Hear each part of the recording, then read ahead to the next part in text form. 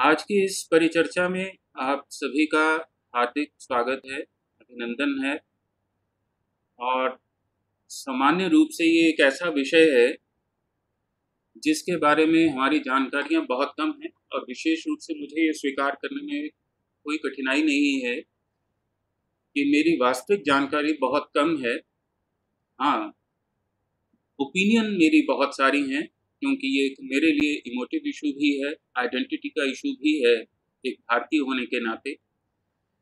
और एक concern citizen होने के नाते मेरे लिए ये चिंता का विषय भी है कि कॉन्स्टिट्यूशन के हिसाब से जो हमने भारत का निर्माण करने का प्रयास किया है, उस भारत के इतने सारे भाग, इतने सारे भेद ये कैसे होते जा रहे हैं और वो सिमट क्यों नहीं पा रहा? है बार बार प्रयास करने पर भी बार बार उसमें संशोधन करने पर भी वो पूरा क्यों नहीं पड़ता तो ये जो भारत और कॉन्स्टिट्यूशन और जो सिटीजन्स का एक ट्रायंगल बन चुका हुआ है, इस ट्रायंगल में कश्मीर का एक विशेष महत्व है।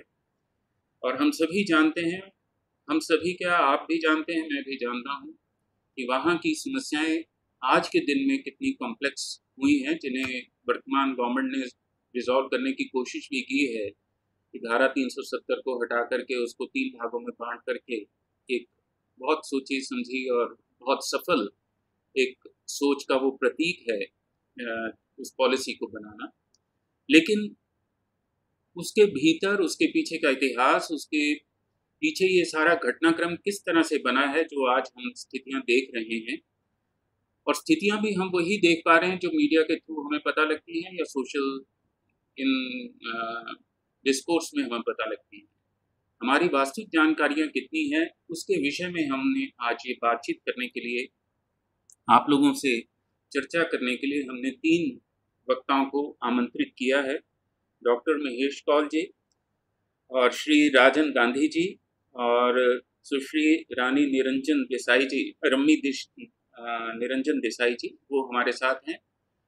लगभग दो घंटे चलने वाले इस कार्यक्रम में 20-20 मिनट अधिकतम जो है, वो हमारे तीनों मुख्य वक्ता अपनी बात हमारे साथ साझी करेंगे। उसके बाद वक्ताओं के साथ चर्चा करने के लिए जितने भी प्रतिभागी हैं, वो अपने प्रश्न या अपनी टिप्पणी या जो भी उनको लगता है कि दृष्टिकोण ये होने चाहिए थे, वो अपना साझा कर सकते हैं। जैसा कि मैंने पहले कहा कि मेरी भी वास्तविक जानकारी इस विषय में बहुत कम है, Jammu and Kashmir breaking the subversive web and a way forward बहुत डायनेमिक टॉपिक है। और ये महेश कौल जी का ही दिया हुआ टॉपिक है, उसके लिए उनका मैं धन्यवाद भी करता हूँ। लेकिन जब मैं, क्योंकि मेरा विषय संस्कृत है तो मैं तो इसको संस्कृत की दृष्टि से जब देखता हूँ तो मुझे दो पंक्तियाँ तुरंत याद आई थी और वही मैंने दो पंक्तियों में आपके सामने ये सारा विचार प्रस्तुत करूँगा और फिर डॉक्टर महेश जी को मैं आमंत्रित करूँगा बातचीत के लिए। एक तो पंक्ति पंचतंत्र की है, बहुत खूबसूरत ग्रंथ है, उसमें आप देखें एक कहानी आती है और उस कहानी में ये एक पंक्ति है, महाजनो ये गतः सपंथा कि बड़े लोग जिस मार्ग पे गए हैं, वही मार्ग होता है, जिस मार्ग पे उन्होंने वो चले हैं उसी का बाकी लोगों को अनुसरण करना चाहिए और आप स्लाइड में देख पा रहे हैं कि बड़े बड़े लोग हैं। इन्होंने नए भारत का निर्माण किया और ऐसा कहा जाता है और ऐसा मैंने सुना है कि लोगों ने आज़ादी भी हमें दिला दी। और मालूम नहीं वो आज़ादी के किस तरह के रूप मेरे सामने आते हैं तो कई बार तो देख के आश्चर्य भी होता है। लेकिन हम मानते हैं क्योंकि इतिहास की किताबों में, एनसीईआरटी की किताबों में मुझे ये बताया गया है कि ये लोग महान दूसरी तरफ़ आप पंक्ति एक और देखते हैं, चरक संहिता से। पंचतंत्र से मैं सीधा चरक में, हालाँकि बीच में बहुत सारी पंक्तियाँ आ सकती मैं उस तरफ़ आप लोगों को नहीं लेके जाना चाहती हूँ सोशल साइंस का इशू है। लेकिन सोशल साइंस के बारे में मेरी अपनी राय जो है, वो क्या है? महताम प्रज्ञा अपराधा प्रजा प्रवृत्ति। कि बड़े लोग जब प्रज्ञा अपराध करते हैं और इस शब्द को अंग्रेज़ी में ट्रांसलेट करने का प्रयास ना करिएगा, क्योंकि इसकी सारी संवेदनशीलता और तरलता समाप्त हो जाएगी। प्रज्ञा अपराध जो है, वो बुद्धि के अपराध कि आप अपने आप को बहुत बड़े समझते हुए जो अपराध कर जाते हैं, आप वास्तविक धरातल को नहीं देख पाते, वास्तविक परिस्थितियों को नहीं देख पाते और केवल अपने बड़े होने के नाते अपनी सोच के विषय में आप अपनी इच्छाओं की अपेक्षा से जिस तरह का व्यवहार कर जाते हैं, उसके कारण क्या होता है? प्रजा में अधर्म की प्रवृत्ति हो जाती है। नाम को तो हमने कॉन्स्टिट्यूशन धर्म बना लिया है, लेकिन उस धर्म का किस तरह से, उस कॉन्स्टिट्यूशन का किस तरह से हमने फुटबॉल बना करके रख दिया है? पॉलिटिकल पार्टीज़ ने फुटबॉल बना के रख दिया है, उसको आप देख सकते हैं। अब ये जो बात है, ये बात मैं क्यों कह रहा हूँ और बड़ी महसूस करके ये कह रहा हूँ। गांधी, जवाहरलाल नेहरू, इन लोगों ने जिनको हम बहुत आदर मान भी देते हैं, सब बातें ठीक भी हैं उनकी, लेकिन बहुत कुछ ऐसा भी है जिसका दायित्व तो उन्हें वहन करना वो हिंसा का दायित्व तो उन्हें वहन करना होगा, उस भारत विभाजन का दायित्व तो भी उन्हें वहन करना होगा, उससे वो बच नहीं सकते। लेकिन इस सारे बीच में, क्योंकि आज हमारा फोकस कश्मीर के ऊपर है तो इस कश्मीर के बीच में जो आप ये स्लाइड में देख रहे हैं, चारों चित्र, मुझे लगता है कि यहाँ से हमें आरंभ करना चाहिए। और संस्कृत की दृष्टि से तो मैं इन्हीं लोगों से आरंभ करूँगा कि गांधी की नॉन वायलेंस क्या काम करेगी आज के युग में। और हरि सिंह, राजा हरि सिंह अपनी तरफ़ से ऑफ़र भी की कि विलय के लिए, लेकिन गांधी नेहरू की अपनी जो इच्छाएँ थी, नेहरू जी की अपनी जो सोच थी, उसने किस तरह का उसके साथ अनाचार कर दिया, किस तरह का उसको प्रस्तुतिकरण कर दिया और फिर शेख अब्दुल्ला और ये पटेल और मिलाकर के आज जो उस कश्मीर की स्थिति बनी हुई है तीन सौ सत्तर से पहले की और तीन सौ सत्तर के बाद की, उस सभी से आप परिचित हैं और रोज़मर्रा उसमें आप पढ़ भी रहे हैं। इन चीज़ों के साथ इससे पूर्व की मैं वक्ताओं का आपसे परिचय कराऊं, एक टिप्पणी और भी मैं आप लोगों के साथ शेयर करना चाहूँगा कि कई तरह के नरेटिव्स यहाँ पर उपलब्ध हैं कश्मीर को लेकर के, जम्मू कश्मीर को लेकर के। रिलीजियस नरेटिव भी आपको अलग तरह के दिखाई देंगे। Political narrative historical narrative history तो बदल ही दी गई। हालाँकि कश्मीर को मैं मानता था कि संस्कृत का वो गढ़ रहा है, भारतीय संस्कृति का वो आधार रहा है, लेकिन आज भारतीय संस्कृति की बात करना कितना कठिन है ये तो चीज़ मैंने अपनी तीन विजिट्स में वहाँ महसूस भी की। फिर कॉन्स्टिट्यूशनल राइट्स का नरेटिव है मीडिया का नरेटिव सेकुलर ह्यूमन राइट्स ये सारे नरेटिव से आप परिचित हैं। लेकिन जब हम के विषयों पर चर्चा करने के लिए बैठते हैं तो वहाँ पर ओपिनियन नहीं वहाँ पर तथ्य चाहिए वहाँ पर एक दृष्टिकोण की स्पष्टता चाहिए दृष्टिकोण की व्यापकता भी चाहिए। आजकल मन लगता है तो, पीने अच्छा मौसम है। मैडम प्लीज़ आप थोड़ा सा अनम्यूट करेंगे फिर मुझे करना पड़ेगा मेरे लिए क्या बोले बोले तो। हो जाएगी प्लीज़। तो इन नेगेटिव्स को ध्यान में रखते हुए इन नेरेटिव्स को ध्यान में रखते हुए हम आज की बात को समझने का प्रयास करेंगे। और जैसा कि मैंने पहले ही स्वीकार किया है कि बहुत जानकारी नहीं है इस विषय में मेरी भी ओपिनियन ज़रूर है लेकिन जानकारी हम क्योंकि कम है। तो वो हम तीन लोगों से हम आज के तीन मुख्य वक्ताओं से सुनेंगे। आज के तीन मुख्य वक्ताओं का मैं परिचय आपसे करवाना चाहूँगा उनका स्वागत करते हुए। हालाँकि ये दायित्व तो श्री संजीव जी का था संजीव धारू जी का और आप लोगों का जो धन्यवाद ज्ञापन करेंगे वो मेजर जनरल अमिल कुमार शोरी जी करेंगे। आ, तो उनका दायित्व तो मैं वर्ण कर रहा हूँ। डॉक्टर महेश कौल जो पोस्ट डॉक्टरल फेलो हैं Indian council of philosophical research new Delhi में। और श्री अरविंद और काश्मीर शहीजन के ऊपर इस वक्त वो काम कर रहे हैं। और इंटरेस्टिंगली उन्होंने जो अपने शुरुआत की हुई है वो एम की है टूरिज़्म हॉस्पिटैलिटी में। से फिर उसके बाद उन्होंने एम ए फिलोसफी और पीएचडी की है। और फिर उसके बाद उन्होंने जो अपना कार्य किया है वो कार्य जो है टिकल फॉल्ट लाइन्स के ऊपर जम्मू एंड कश्मीर में उसके ऊपर उन्होंने काम किया है, मुझे इनको म्यूट करना पड़ेगा। जो भी हमारे प्रतिभागी हैं, मुझे ये कठिनाई हो जाती है कि एक ही साथ आप जब अकेले ही सारी काम करते हैं। मैडम सरिता जी प्लीज़ अब आप अनम्यूट मत करिएगा। बच्चों को पढ़ाएँ ज़रूर, लेकिन प्लीज़ अनम्यूट मत करिएगा।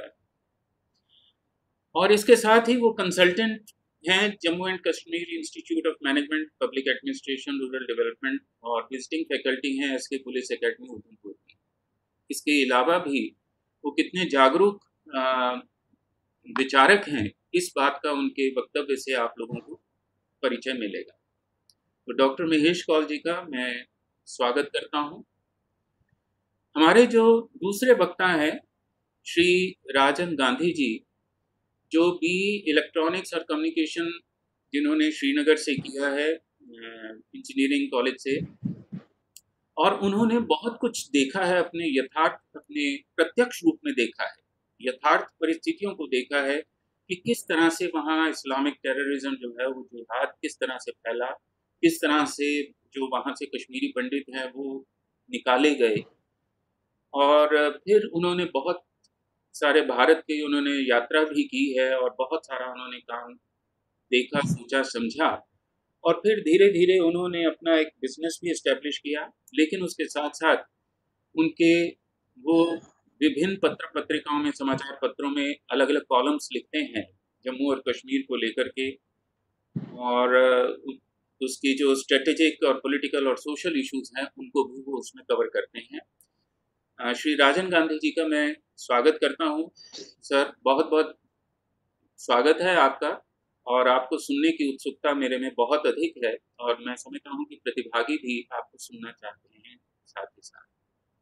हमारी तीसरी मुख्य वक्ता सुश्री रम्मी निरंजन देसाई जी बहुत ही रुचिकर उनका प्रोफ़ाइल अगर आप देखें, आप पढ़ भी सकते हैं कि M B A honours in theology इसके विषय में मुझे जानकारी नहीं थी कि भी हिंदुस्तान में भी ये कोई कोर्स चल रहा है। लेकिन एम ए उन्होंने एंथ्रोपोलॉजी और सोशियोलॉजी में of religion from King's college London से किया है।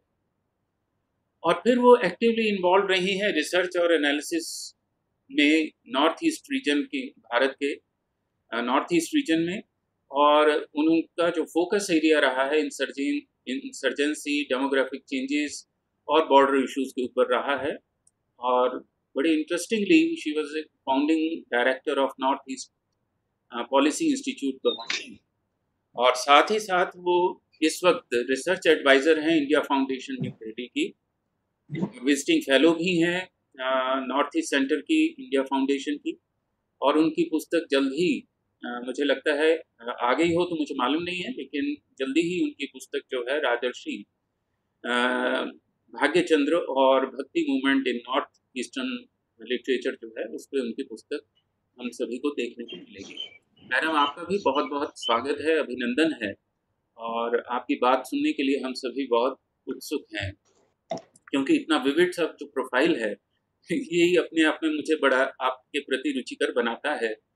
कि इतनी विविधता के साथ, इतने ज्ञान के साथ इस तरह का व्यक्तित्व हमें आज देखने को मिलेगा।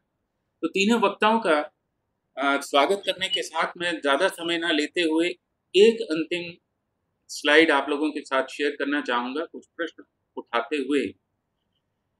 वस्तुतः ये जो टॉपिक है, ये पुस्तक एक ग्रंथ प्रकाशित हुआ था, डॉक्टर महेश पॉल जी की तरफ़ से। उन्होंने एडिट किया था और इसमें कई प्रोमिनेंट जो पर्सनैलिटीज थी, उन्होंने अपने अपने आर्टिकल्स कंट्रीब्यूट किए हैं कि Jammu and Kashmir breaking the subversive web and way forward बड़ी ही पॉजिटिव तरीके से लिखा गया ये एक ग्रंथ है, क्योंकि मैंने कुछ पोर्शन इसके पढ़े हैं जो मेरे साथ डॉक्टर साहब ने शेयर किए थे। और टॉपिक भी आप देख सकते हैं कि उम्मीद का ये टॉपिक है, यथार्थ कैसा भी हो, लेकिन उसमें से उम्मीद की किरण क्या है, उसको हम ध्यान में रखेंगे। कुछ क्वेश्चंस जो मैं शेयर कर रहा हूँ, जिससे कि एक भूमिका डॉक्टर महेश जी के लिए भी बन जाएगी। और सर ये कुछ आपके ही प्रश्न हैं। मेरे इसमें कोई कंट्रीब्यूशन नहीं है। इफ़ इंडिया बड़े सटीक से प्रश्न है, ताकि ये जितने श्रोता हैं, प्रतिभागी हैं, ये भी रिस्पॉन्ड कर सकें जब हम क्वेश्चन आंसर सेशन लेंगे। मैं ज़्यादा नहीं पढ़ता, लेकिन आप पढ़ सकते हैं। जल्दी से दो तीन सवाल मैं आप लोगों के साथ शेयर कर लेता हूँ India is a free nation and flourishes in democracy and human rights what led to the violation of human rights of Hindu minority in Muslim majority state? बड़ा ही वैलिड सवाल है, मुझे लगता है, और let's see how we react और respond to this दोनों बातों का अंतर सभी लोगों को ध्यान रखना चाहिए कि हम प्रश्नों के प्रति प्रतिक्रिया व्यक्त करते हैं या उसके प्रति प्रति संवेदन व्यक्त करते हैं। दोनों बातों में बहुत अंतर है। तो इस बात का ध्यान रखिएगा। Have the fruits of democracy not reach the grass root level Is J&K a Muslim sphere of influence where the writ of the Indian state is not implemented? वाकई मेरे दिल को ये छूते हैं और मुझे तकलीफ़ भी देते हैं इस तरह के प्रश्न। और जब मैं वहाँ देखता हूँ कि तिरंगे के सम्मान में कोई उठ के भी खड़ा नहीं होता और पर्टिकुलरली कश्मीर यूनिवर्सिटी में डिग्रियाँ दी जा रही हैं और वहाँ जनगण भी हो रहा है तो भी जनगण मन भी हो रहा है और उस पर कोई खड़ा नहीं हो रहा। तो ये किस तरह का हिंदुस्तान हमारे कॉन्स्टिट्यूशन ने बनाया? आ, एक जो आ, ये जो एक बड़ा ही आ, सब गहरा सवाल है और इससे सामान्य रूप से जितने भी इंटेलेक्चुअल्स हैं वो बचते ही हैं इस प्रश्न का उत्तर देने से। Is there some tactic understanding to accommodate the Muslim sub nationalism at the cost of territorial integrity and sovereignty of the nation that swears in the public life by the principle of secularism मैं बाकी दो अंतिम छोड़ रहा हूँ, समय नहीं मैं लेना चाहता, आप लोग पढ़ सकते हैं इस सारी चीज़ को। लेकिन ये सवाल हैं जो बड़े ही चुभने वाले सवाल हैं। लेकिन उत्तर हमें नहीं मिलती और उत्तर क्या बात भी करने को नहीं मिलती और बात अगर करने लगते हैं तो वो बहस में चले जाते हैं क्योंकि मीडिया बहस में ज़्यादा विश्वास करती है, वो संवाद में विश्वास नहीं करती। और मैं उम्मीद करता हूँ आज हमें लगभग अगले जो पौने दो घंटे हैं, उनमें संवाद का मौका मिलेगा। हम देखेंगे कि किस तरह से इन सारे विषयों को हमें देखना है, समझना है और उसके बाद आप लोग अपनी अपनी ओपिनियन देने के लिए संवैधानिक स्वतंत्रता की वजह से नहीं, बल्कि सांस्कृतिक स्वतंत्रता की दृष्टि से आप लोगों का मैं स्वागत करूँगा कि आप अपनी असहमति भी जताएँ, सांस्कृतिक स्वतंत्रता की दृष्टि से, ना कि संवैधानिक तो मैं आमंत्रित कर रहा हूँ प्रथम वक्ता, श्री डॉक्टर महेश कौल जी को, कि वो इस सारे का प्रारूप हमारे सामने रखें और फिर उसके बाद राजन गांधी जी की बात नमस्कार। नमस्कार आशुतोष जी और सारे मेरी आवाज़ आ रही है सर? जी सर। जी आप हाँ। लाउड एंड क्लियर है। ठीक है सर। नमस्कार सर। नमस्कार सारे अपने प्रतिभागियों को और मेरे सहवक्ता श्री राजन गांधी जी सुश्री रामी निरंजन देसाई जी और जो बाकी सारे शिक्षाविद यहाँ जुड़े हैं। इस समय जब देश एक ऐसे हालात से जूझ रहा है, जो हम सारे देख रहे हैं कि किस तरह का वातावरण बना हुआ है। पिछली बार भी जब मैंने बात की थी तो जब इस पुस्तक को हमने इसका वो किया था, शुरू काम करना किया था तो उस समय भी हमारे मन में कुछ प्रश्न थे, जो आपने मेरा काम आसान कर दिया, जो आपने प्रश्न बिल्कुल स्लाइड पर रखे हैं। इन्हीं प्रश्नों के उत्तर ढूंढते ढूंढते हम लोग आज यहाँ तक पहुँचे हैं, जहाँ पर हम देख रहे हैं कि भारत एक मजदार में तो नहीं कहूँगा, लेकिन एक चैलेंज की स्थिति में खड़ा है, जहाँ पर हम अपने राष्ट्रवाद के प्रति काफ़ी सजग भी हैं और आज की डेट में बड़े लोगों ने काम भी किया है, हतोत्साहित होने की ज़रूरत नहीं है, तभी हम ये प्रश्न पूछ रहे हैं। अगर ये काम नहीं हुआ होता तो ये प्रश्न नहीं पूछते। और आशुतोष जी, आपने बिल्कुल आरंभ में बड़ा सही कहा कि ये जो नॉन वायलेंस की बात रही, ये कितनी सार्थक हुई। नॉन वायलेंस हमें हाफ़ ट्रुथ के तौर पर समझानी चाहिए तो गांधी कहें या कोई भी सो कॉल्ड सेक्युलर लीडर कहें, इन लोगों ने आज तक यही कहा कि अहिंसा परमो धर्म, भारतीय शास्त्र सम्मत। लेकिन आधा कहा, आधा सत्य। पूरा सत्य क्या है? पूरा सत्य है अहिंसा परमो धर्म। धर्म हिंसा तथेव च। धर्म हिंसा तथेव यानी non violence is the highest dharma so too is violence in the service of dharma so too is violence in the service of dharma तो ये आधे सत्य के आधार पर जब आप स्टेट का निर्माण करते हैं तो वो सबवर्सिव स्टेट बनता है। एक जिसको मैं कहूँगा विघटनकारी स्टेट बनता है। और वो स्टेट अपने नेशन को खाने की प्रक्रिया शुरू करता है। उसका तंत्र चारों ओर से जैसे आपने कहा कि बड़े नैरेटिव हैं, कोई मीडिया का नैरेटिव है, कोई ह्यूमन राइट्स का नैरेटिव है, कोई हमारे पास राजनीतिक नैरेटिव है, ये नैरेटिव नहीं है। ये वस्तुतः बेसिकली सबवर्शन के तीर हैं जो हमारे राष्ट्र को तोड़ने का प्रयास करते हैं। तो लोगों ने जब यहाँ पर जम्मू कश्मीर में जब विघटनकारी शक्तियाँ सक्रिय हुई तो यहाँ प्रश्न उठे कि भाई आप बात करिए लोगों से जो केंद्र सरकार से चलता रहा आज के आज के हालात थोड़े डिफरेंट हैं। तो ये चलता रहा 2013 तक नैरेटिव कि भाई जम्मू कश्मीर में आप ऐसे लोगों को आइडेंटिफाई करिए जो स्टेक होल्डर स्टेक होल्डर से बात करिए। तो सबसे पहले हमारे दिमाग में ये प्रश्न आता है कि जहाँ पर नेशन की बात हो, वहाँ पर कौन स्टेक होल्डर हो सकता है? एक नेशन ही स्टेक होल्डर है जब टेरिटोरियल इंटीग्रिटी और सोवरिटी या प्रभुसत्ता की बात होती है। जब स्टेट ऐसी बातें करे कि आप स्टेक होल्डर ढूंढिए ऐसा लगता है कि जैसे ईस्ट इंडिया कंपनी किसी अपने उपनिवेश को आज़ादी देने की ओर जा रही है और उनसे कहिए बात करिए किन से बात करना है? ट्रांसफ़र ऑफ़ पावर करना है। तो बात आगे चली। अब यही नैरेटिव जब हमारे स्टेट में इंटरनलाइज हुआ तो हमने देखा कि जो नेटिव पॉपुलेशन है, उनको अप्रूव किया गया। लोग अक्सर नब्बे की बात करते हैं कि नब्बे में कश्मीरी पंडितों का पलायन हुआ, उनका नरसंहार हुआ, लेकिन ये एक वस्तुस्थिति है, ये बिल्कुल सही बात है, ऐसा हुआ, क्योंकि इंडियन स्टाइल स्टेट अभी भी डिनाइल में डिनाइल में है कि उसने जेनोसाइड नहीं माना इसको। लेकिन ये भी मानना सही है, अगर उन्नीस सौ सैंतालीस का नरसंहार नहीं हुआ होता तो शायद नब्बे भी नहीं हुआ होता। और हमने इसको कॉन्टिन्यूटी में लिया, और ये चीज़ कॉन्टिन्यूटी में होती रही, और मुझे ये कहने में संकोच नहीं है। सेमिटिक ट्रेडिशन में, जिसे हम अब्राहमिक रिलीजन कहते हैं, उनमें एक प्रक्रिया होती वो प्रक्रिया ये होती है कि जो आज से 500 साल पहले वहाँ घटनाएँ घटती थी उनके समाज में, वो रिपीट होती हैं। जैसे बर्बरता किस तरह से वो करते हैं, वो बर्बरता आज भी होती है। तो इसके कहीं उदाहरण कश्मीर में जब अल्पसंख्यक समुदाय का नरसंहार हुआ तो जब वहाँ पर एक सरला बट करके एक युवती थी उसके साथ, दुष्कर्म हुआ और उसके बाद उसको आरे पर चीरा गया उसके बाद एक प्रोफेसर थे, उनसे मेरी बात हुई, कश्मीर पर काफ़ी काम किया। मैंने कहा प्रोफेसर साहब, ऐसी बात हुई कहते इसमें घबराने की ज़रूरत नहीं है आप। इस्लाम की हिस्ट्री देखिए, वहाँ पर ऐसे ही हुआ है, ऐसे ही चीरा गया और वहाँ से एग्ज़ाम्पल लेके मॉडर्न स्टेट में आइसिस ने भी ऐसे ही किया। तो दुर्भाग्य ये रहा कि हमारे राजनीतिक, राजनीतिज्ञों ने इसे समझाने, उन्होंने कहा, शायद हम कंप्रोमाइज करेंगे मुस्लिम कम्युनलिज्म के साथ तो उसको सेक्युलरिज्म का नाम देंगे। और ये चीज़ एक रोग बन गई। कब तक आप एक कम्युनलिज्म के ऊपर सेक्युलरिज्म का झूठा प्लस्तर चढ़ाएँगे? जैसे आप उसके ऊपर प्लस्तर चढ़ाते हैं, वो गिर जाता है। तो हमने देखा इसी संदर्भ में सबवर्शन क्या है? सबवर्शन का मतलब है जो स्टेट जो तंत्र अपने ही सिस्टम को खा जाता है। उसमें आपको किसी आतंकवादी की आवश्यकता नहीं, लेकिन वो तंत्र खा जाता है उसको। और तभी आप देखते हैं कि पूरे भारत में पाकिस्तान के बारे में हमें पता है, हमें नाम लेने से परहेज नहीं है कि वो भारत के प्रति षड्यंत्र करता है, हमारे प्रति द्रोह भी करता है। चीन के बारे में भी हम सजग हैं, उसका क्या रवैया है, वो बासठ में जो था, वो आज भी वही है। लेकिन हमें खतरा किससे है?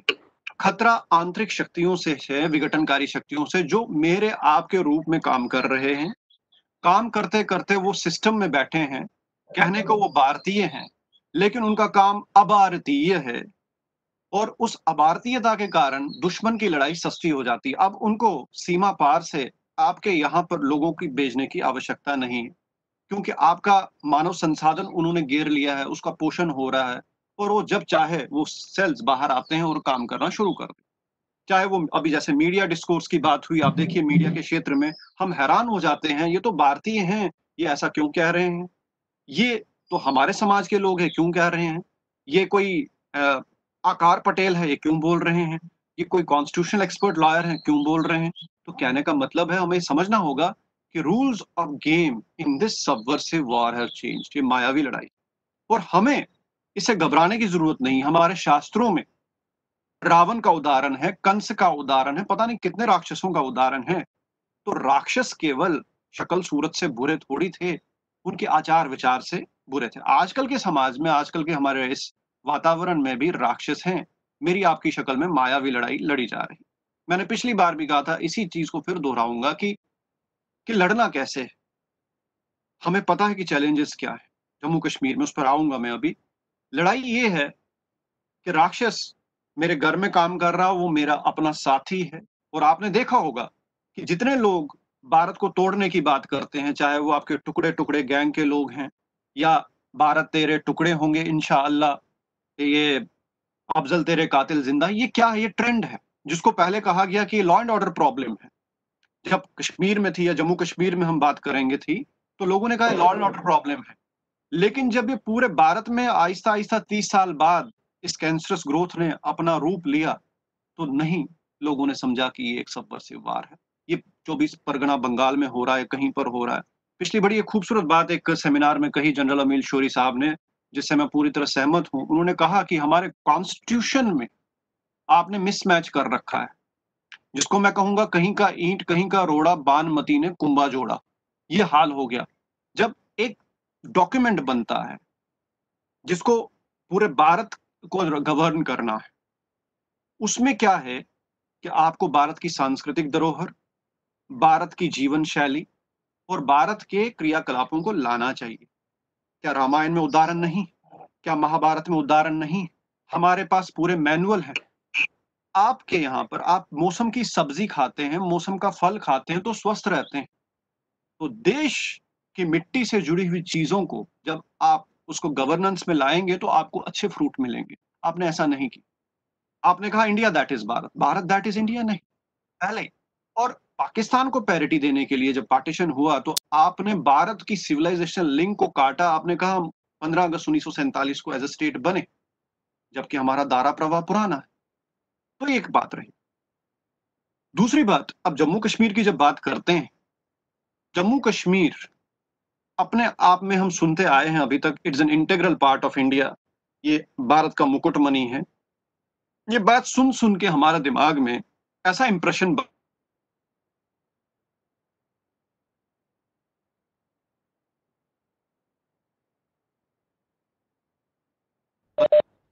जम्मू कश्मीर हिमालय में भारतीय संस्कृति का प्रादुर्भाव है, जिसको मैं कहता हूँ कि भारतीय संस्कृत सिविलाइजेशन का फाउंटेन हेड है नर्व सेंटर है न्यूक्लियस है, जहाँ जैसे मस्तिष्क से डिफरेंट करंट्स थॉट करंट्स निकलती हैं, पूरे शरीर को संचालित करती हैं स्ट्यूमलाई से, वैसे जम्मू कश्मीर का। हाल है ये एक सिंबोलिज्म नहीं, आप देखिए, जैसे आशुतोष आशुतोष जी ने कहा कि संस्कृत केंद्र माना जाता था। संस्कृत केवल एक लैंग्वेज नहीं, एक थॉट सिस्टम नहीं, एक जीवन शैली है जो साधना की गई उसके आधार पर हमारा जो शैली डेवलप हुई।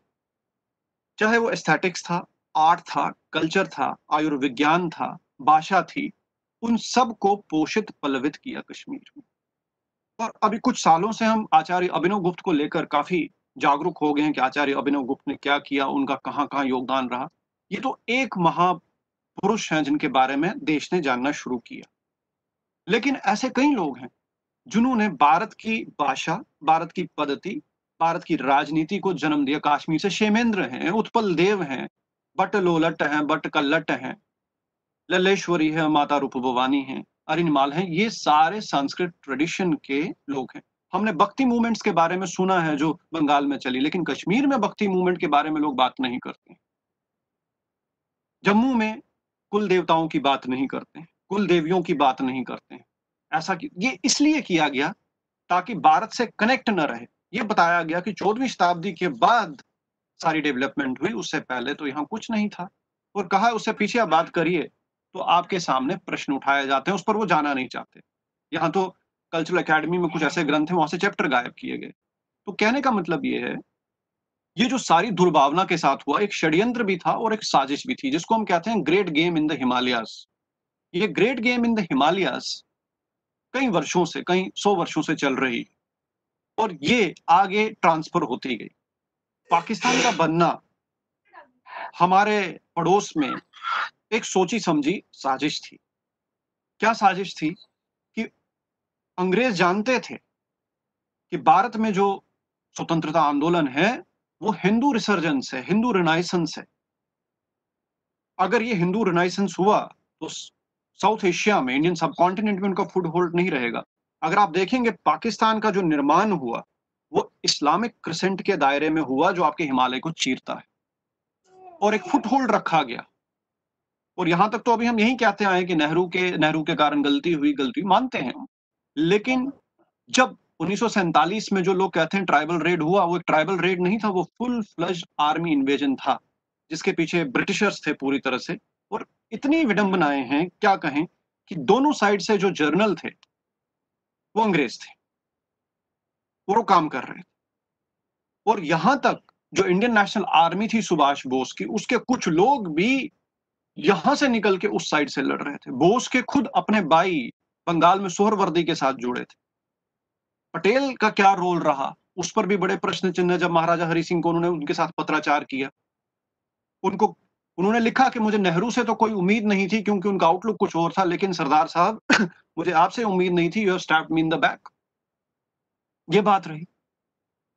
डॉक्टर अंबेडकर को लेके भी कुछ बातें कही जाती हैं, लेकिन डॉक्टर अंबेडकर की किताब पार्टीशन ऑफ़ इंडिया और पाकिस्तान में जब हम देखते हैं, जो व्यक्तित्व अंबेडकर का है, वो बिल्कुल कॉन्ट्ररी है जो हमें बताया जाता है। हमें दो बार सोचना पड़ता है क्या वही अंबेडकर हैं जिनके बारे में हमें पढ़ाया जाता है are we worshipping false gods तो ये चीज़ें जो थी, अपने आप में आइसोलेटेड नहीं थी। कश्मीर का जो मसला जो बनाया गया, सबसे पहला ये था कि दैट जम्मू एंड कश्मीर जो फोर्सेज है, सारी थी balkanizing forces they wanted to desanskritize India उसे आसान हो जाता है काम करना, जब आप किसी चीज़ को कंटेक्स से बाहर निकालते हैं।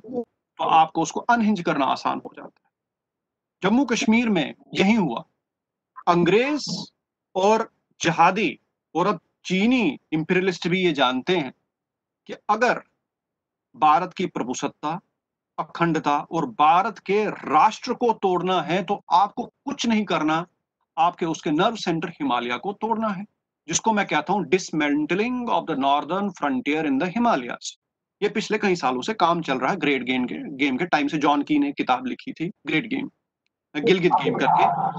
नंबर एक। और ये वहाँ पर जितनी भी इंडिजिनस पॉपुलेशन इस हिमालयन बेल्ट में हैं, उनको डिस्प्लेस करना, उनको रिलीजियसली क्लींस करना, उनका जेनोसाइड करना, और कुछ हद तक तो मैं कहूँगा जेनोसाइड से बढ़कर भी डेमोसाइड करना, और ताकि आपके लिए ग्राउंड क्लियर रहे। अगर आप देखेंगे पूरे हिमालय फ्रंटियर में टाइम टू टाइम ये चीज़ें होती रही। आप भूटान में देखिए आप नेपाल में देखिए क्या हो रहा है ये इसीलिए हो रहा है ये सारी लड़ाई हिमालय की लड़ाई। हिमालय में सोर्सेज ऑफ़ नेचुरल रिसोर्सेज हैं ग्लेशियर्स हैं और इस प्रोसेस में जो हिंदूज ने इस पूरे हिमालय को संस्कृताइज किया हमारे वेस्टर्न लैंड जो थे ये सारे इनका जो विस्तार हुआ ये जम्मू कश्मीर से ही आगे हुआ। कुमार भट्ट कुमार जीव ऐसे लोग जब बुद्धिज्म को भी संस्कृताइज किया, एक टाइम में जब बुद्धिज्म ने भी विघटनकारी रूप ले लिया था तो ये कश्मीर के सांस्कृतिक थे, जिसमें कुमार जीव जैसे लोग अश्वगो जैसे लोग, इन लोगों ने इसको संस्कृताइज करके पूरे हिमालयन सेंट्रल एशिया तक ले गए, जिससे भारत का साम्राज्य बढ़ा, जिसको हम आज की डेट में ग्रेटर इंडिया कह सकते हैं इंडिया वेस्टर्न लैंड्स ईरान भी भारत के उस प्रभुसत्ता में आता। तो कहने का मतलब ये है, अंग्रेज़ या अब्राहमिक रिलीजन ही जानते हैं कि भारत को डिसमेंटल करना है तो हिमालय तोड़ना होगा। हिमालय तोड़ना होगा तो उसको डिसंस्कृताइज करना होगा। आप उसे डिसंस्कृताइज करेंगे तो उसके लिए जो वहाँ की इंडिजिनियस पॉपुलेशन है, जो संस्कृत पॉपुलेशन है, उनको डिस्प्लेस करना आपने भूटान से हिंदुओं को उसी समय में डिस्प्लेस किया जब कश्मीर से हिंदू डिस्प्लेस हुए, काफ़ी कम लोग जानते हैं। नेपाल में क्या हुआ, ये भी हम जानते हैं। तो कहने का मतलब है, ये केवल लड़ाई जो है लॉ एंड ऑर्डर की प्रॉब्लम नहीं। है कॉन्स्टिट्यूशनल पेज तो बाद में आए। 370 मेरे बाकी मित्र दोनों बोलेंगे इस विषय में। मैं एक भूमिका बना रहा हूँ और इस भूमिका में आज की डेट में हम ये देख रहे हैं कि जो Indian state is in conflict with Indian nation अपनी बॉडी खुद अपने, अपनी बॉडी के सेल्स खुद अपनी बॉडी को खा रही। क्योंकि ऐसा निर्माण हुआ और एक प्रॉब्लम भी होती समय के साथ। जब एक घोड़ा होता है, उसको काठी के साथ बनने की आदत हो गई होती है। आप उसे थोड़ी देर के लिए उसके वो खोल खोल दीजिए सैडल वगैरह। वो चलेगा नहीं, अड़ेगा, जब तक उसके ऊपर टांगे वाला चाबुक नहीं बरसाएगा। वो हाल हिंदू का हो चुका है, जिसे हम कहते हैं सिकनेस ऑफ़ स्लेवरी जब आपको आपके दुश्मन में क्वालिटीज नज़र आना शुरू हो जाए, ये गीलानी साहब हैं, कम से कम प्रिंसिपल के आदमी हैं, इनसे बात करिए, बाकी देख लेंगे, दुश्मन में क्वालिटी लेकिन जो राष्ट्रवादी है, उससे आप बात नहीं करना चाहते ये तो है, इसको देख लेंगे, लेकिन उसको पहले उसका हृदय परिवर्तन कर लेते हैं। ये हृदय परिवर्तन की प्रॉब्लम हार्ट ट्रांसप्लांट करने की प्रॉब्लम कई सालों से यहाँ चलती आ रही। हार्ट ट्रांसप्लांट हुआ कि नहीं? लेकिन जो राष्ट्रवादी शक्तियाँ हैं, वो हतोत्साहित हुई और फिर भी आज की डेट में उन्होंने अपना ग्राउंड नहीं छोड़ा। मैं एक और बड़ी इंटरेस्टिंग बात यह कहूँगा। कुछ साल पहले मुझे हैदराबाद जाने का मौका मिला।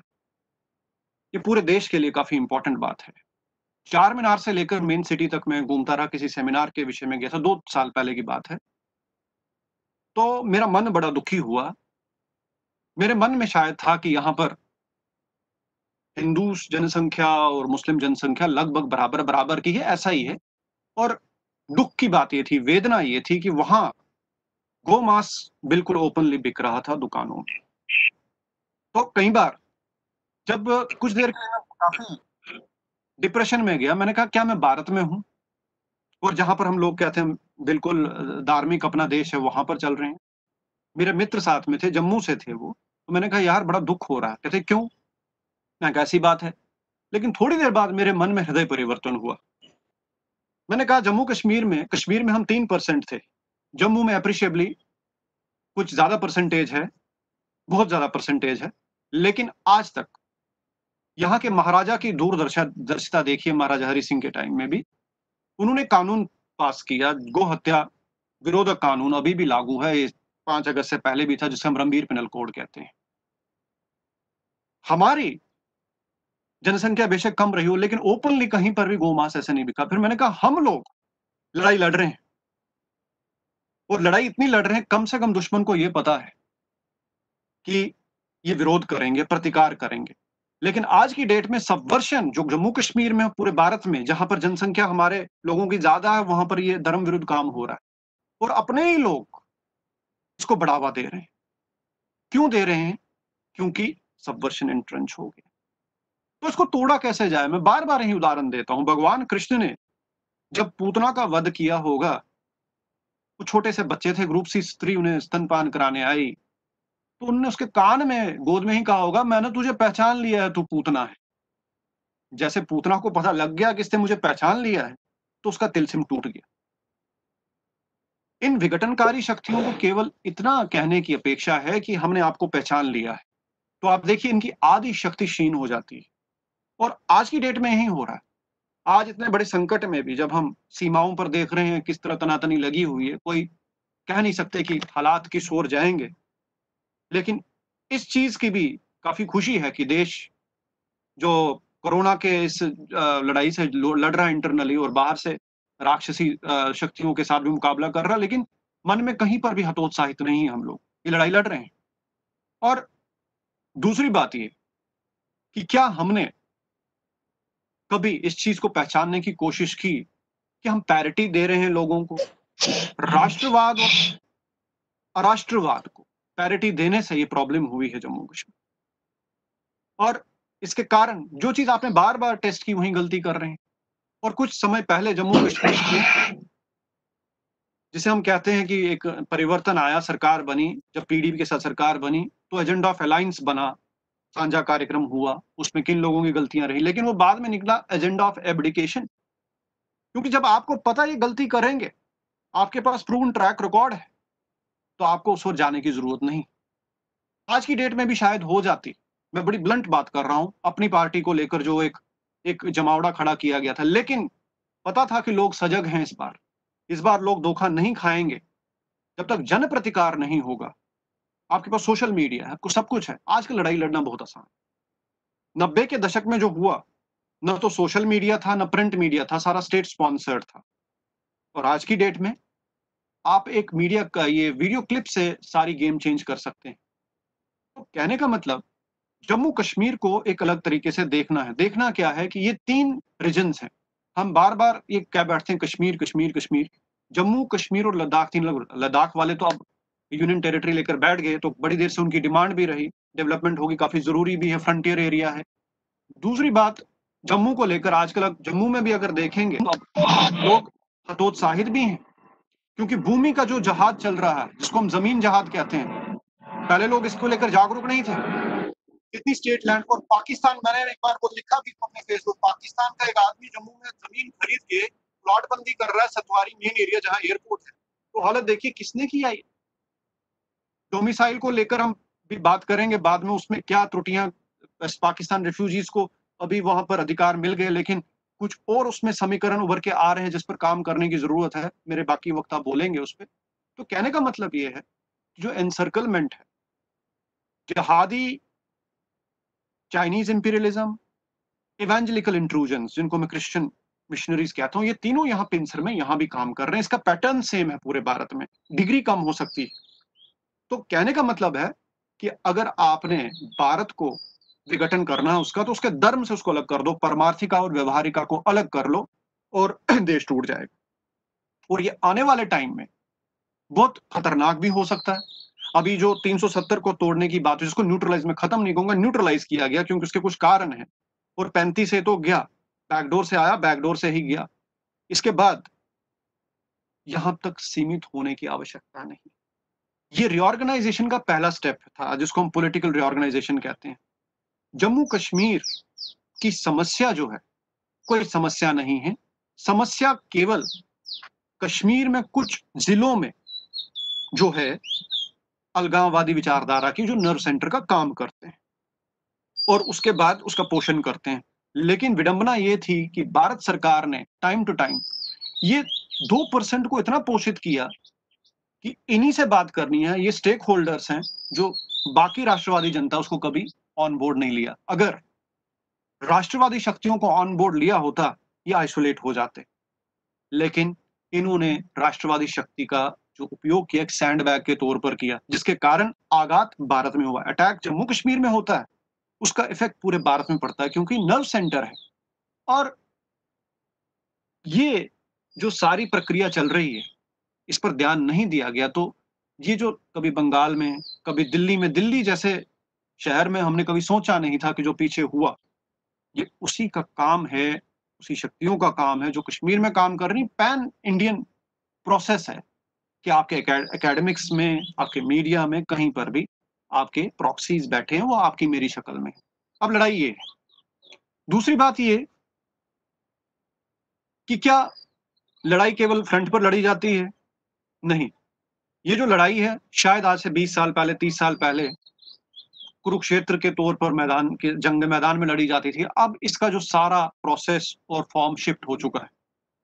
We are fighting virtually on every front चाहे अकेडमी जैसे आशुतोष जी ने एक वो स्लाइड बताई हमें कि ये डिस्कोर्स ये डिस्कोर्स ये डिस्कोर्स ये लड़ाई है। आप इन फ्रंटों पर जिस जिस डिस्कोर्स की इन्होंने बात की है, जिसका इन्होंने वर्गीकरण किया है, ये वर्गीकरण जो है, ये हमारे फ्रंट है। मीडिया में हमारे कितने लोग सही डिस्कोर्स को चलाते हैं जम्मू कश्मीर को लेके? ह्यूमन राइट्स हमारे कितने लोग चला रहे हैं? हमारे अकेडमिशन यूनिवर्सिटीज में कितना काम कर रहे हैं? और एक बात कहूँगा, दुश्मन से हमेशा समझिए, चाहे वो क्रिश्चियन मिशनरीज हों, चाहे वो जहादी हों, इनका एक पैटर्न सेट इनका एक स्ट्रक्चर सेट जो उन्नीस सौ सैंतालीस में भी था, चाहे अधिकारी डॉक्टरिंग जब भारत का पार्टीशन हुआ मुस्लिम लीग को सपोर्ट किया गया, तब था और अब है सेम है। और उसके ढांचे में काम हो रहा है और एकेडमिक उसको बनाते हैं ये पूरा। हमारी ओर से स्लोगनरिंग एक ढांचा नहीं बना। तो we have not been able to work on it तो इसका कारण यही है। हमारे पास फैक्ट्स हैं, हमारे पास हिस्ट्री है, हमारे पास डेटाबेस है, लेकिन उसको कन्वर्ट नहीं किया गया। कारण? क्योंकि हमने ज़रूरत नहीं समझी या कभी सिस्टम ने साथ नहीं दिया। तो आज की डेट में जब ये हिंदू रिनाइसेंस की बात चल रही आजकल की भी जो सरकार बैठी है, हमारा उनसे कोई दूराबास नहीं है, कोई उनसे मतभेद नहीं है विचारधारा को लेकर। लेकिन एक संदेश जो है, वो ये है कि आपको जो मैंडेट मिला, दो बार मिला, आगे भी मिले, वो भारत के बैल्कनाइजेशन को रिवर्स करने की प्रोसेस के लिए मिला कि लोगों ने देखा कि पिछले सत्तर साल में क्या होता रहा। ये केवल डेवलपमेंट का वोट नहीं था। न तो ये कॉम्प्रोमाइज का वोट था, ये हिंदू रिसर्जेंस का वोट था। ठीक है? जो श्री अरबिंदो स्वतंत्र वीर विनायक दामोदर सावरकर या बाल गंगाधर तिलक ने सांस्कृतिक राष्ट्रवाद की अलग जगाई। जब कांग्रेस स्प्लिट हुआ और उन्होंने देखा कि कांग्रेस विघटनकारी शक्ति है, एक इंपीरियलिस्ट प्रॉक्सी है तो उन्होंने भारत के बीज को बचा के रखा। तो ऐसी स्थिति में क्या करना है? कश्मीर में हिंदू या जम्मू में हिंदू क्यों लड़ रहा है? और लड़के जीत भी रहा है, ये मैं बता दूँ आपको। निराशा की बात नहीं, लोग कहते हैं कि आप बड़ी पॉजिटिव बात करते हो। मैं कहूँ, मैं लोगों को क्यों निराश करूँ? जब मेरे पास पॉजिटिविटी है, मेरे पास विघटन में जब भी आपके पास तूफ़ान आ रहे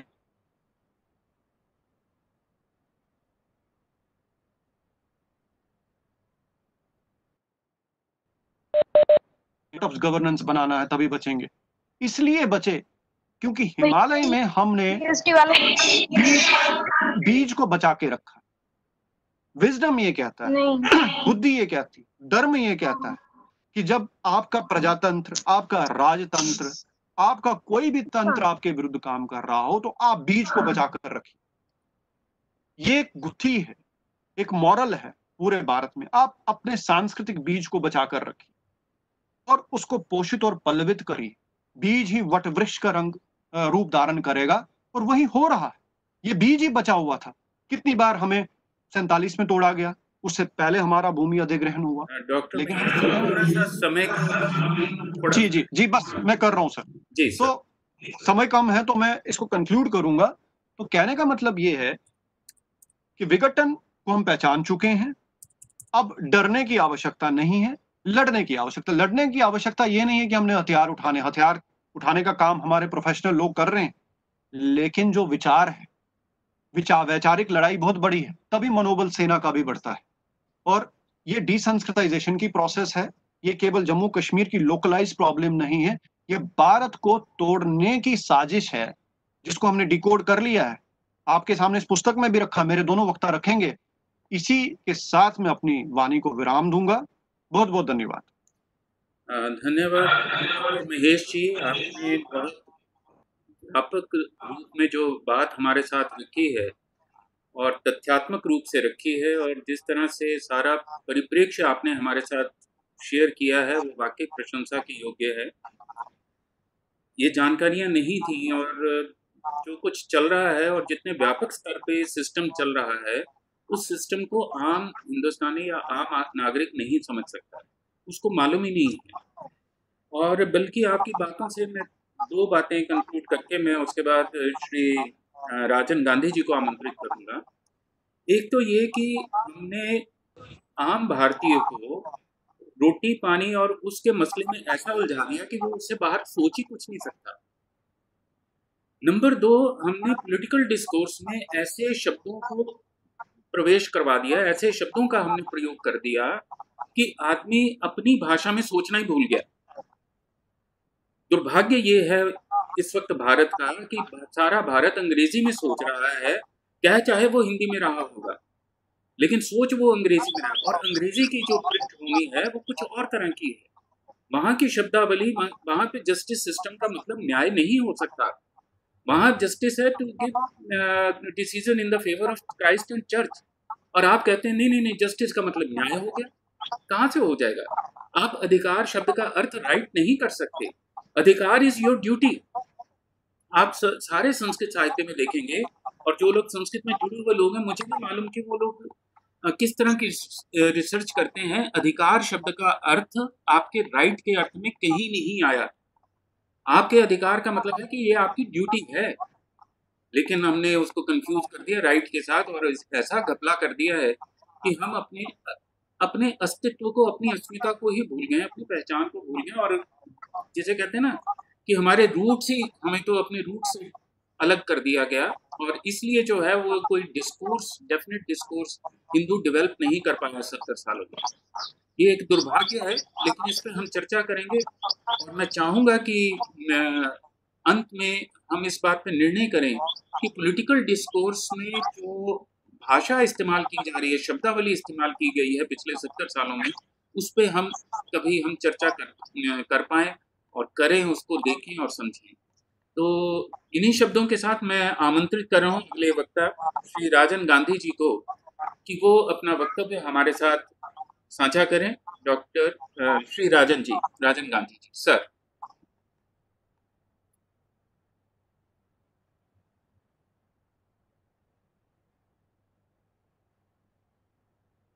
नमस्कार। सर आपकी आवाज़ नहीं आ रही? हाँ जी जी। जी जी हेलो। हाँ जी सर। ए, एक सेकंड में मुझे लगता मुझे अनम्यूट करना पड़ेगा।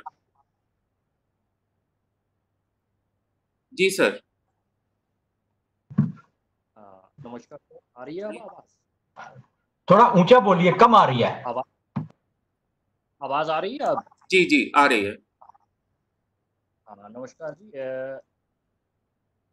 बहुत बहुत धन्यवाद इस परिचर्चा में। Sir you have to be little loud you have to be little loud अच्छा अच्छा आ रही है? अभी आवाज़ आ रही है? हाँ जी आ रही है लेकिन कम है। माइक मेरा ख्याल आपसे दूर है थोड़ा। ठीक है अभी आ रही है? हाँ जी हाँ जी अब क्लियर है। अब बेहतर है। महेश जी ने बहुत कुछ बोला। बिल्कुल अपने लिमिट्स में जो हम देख रहे हैं, सुन रहे हैं रिचर्चा में चलता रहा है, न्यूज़पेपर में भी चल रहा है, आपका टीवी चैनल्स में भी चल रहा है।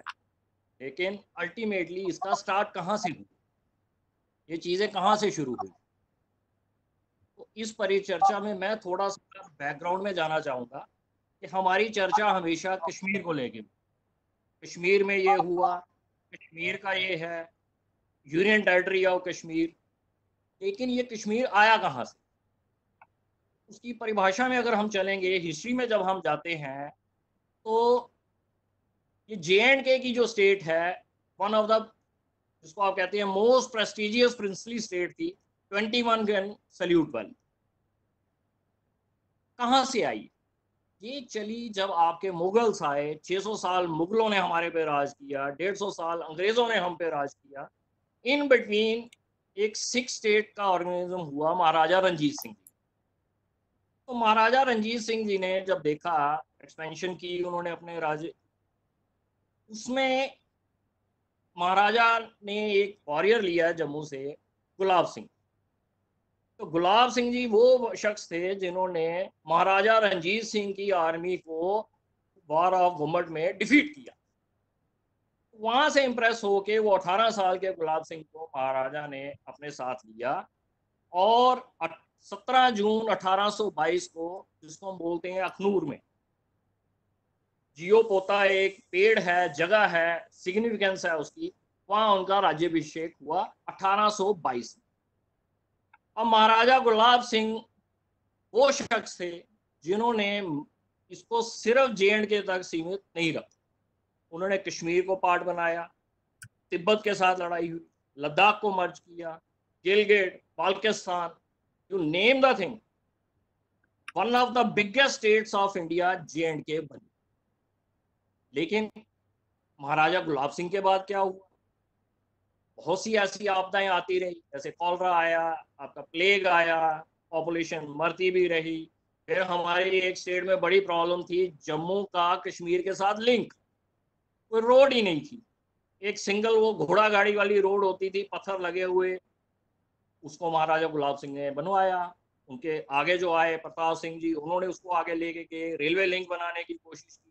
तो ये सब चलता लेकिन अंग्रेज़ों को ये चीज़ मालूम थी कि अगर हिंदुस्तान में हमने राज करना है तो जे एंड के को लेना अपने साथ बहुत ज़रूरी उस बैकग्राउंड में उन्होंने क्या किया कि प्रताप सिंह जी पे, महाराजा पे एलिगेशन लगाई कि ये रशिया के जार के साथ मिले हुए हैं, चिट्ठियों का आदान प्रदान हो रहा है और हम अंग्रेज़ों के ये अगेंस्ट काम कर रहे हैं। उस उस बैकग्राउंड में फ़र्स्ट जो रेजिडेंट जे के में आपका इस्टेब्लिश हुआ सर मेरे ख्याल ऑलिवर जॉन थे, उनको लाया गया और पावर्स ले ली गई। महाराजा प्रताप सिंह जी की पावर्स वापस ले ली गई। चलता रहा, ये सिलसिला चलता रहा, आगे चलता रहा। मेन टाइम आपका इंडिया में अलीगढ़ मुस्लिम यूनिवर्सिटी की खिलाफत मूवमेंट शुरू हुई।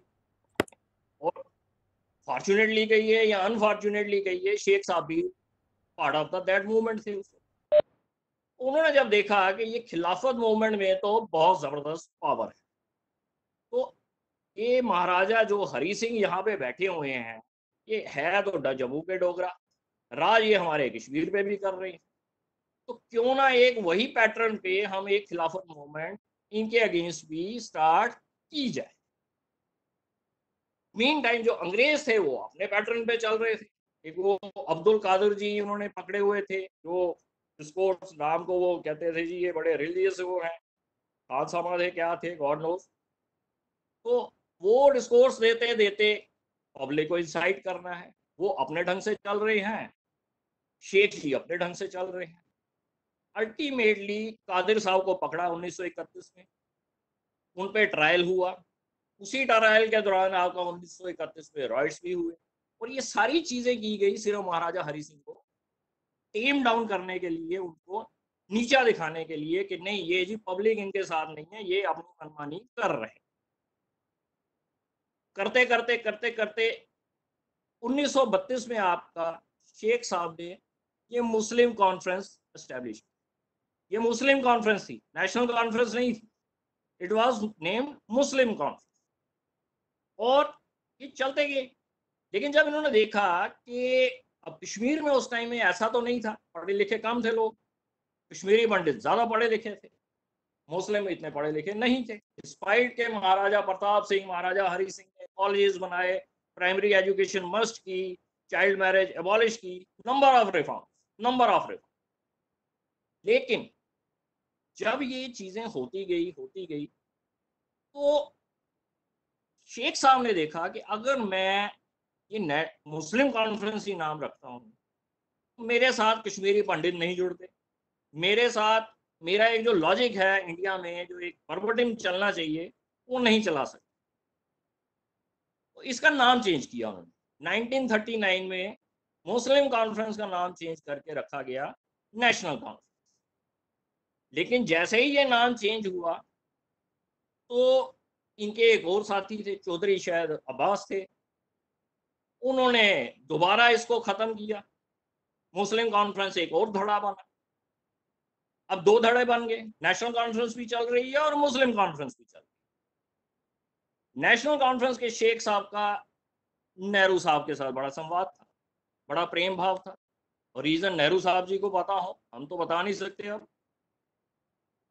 1939 में जब नेशनल कॉन्फ्रेंस बनी बनी इन द रीनेम हुई, मुस्लिम कॉन्फ्रेंस से नेशनल कॉन्फ्रेंस बनी। तो 1940 में नेहरू जी ने डिक्लेयर किया कि National Conference is the only national organisation representing J and K see that discourse Jammu से कोई पार्टी नहीं, कश्मीर में मुस्लिम कॉन्फ्रेंस भी है, और भी हैं, लेकिन सिर्फ़ नेशनल कॉन्फ्रेंस को रिकॉग्निशन दी गई एज नेशनल पार्टी उसकी रिप्रकशन क्या हुई?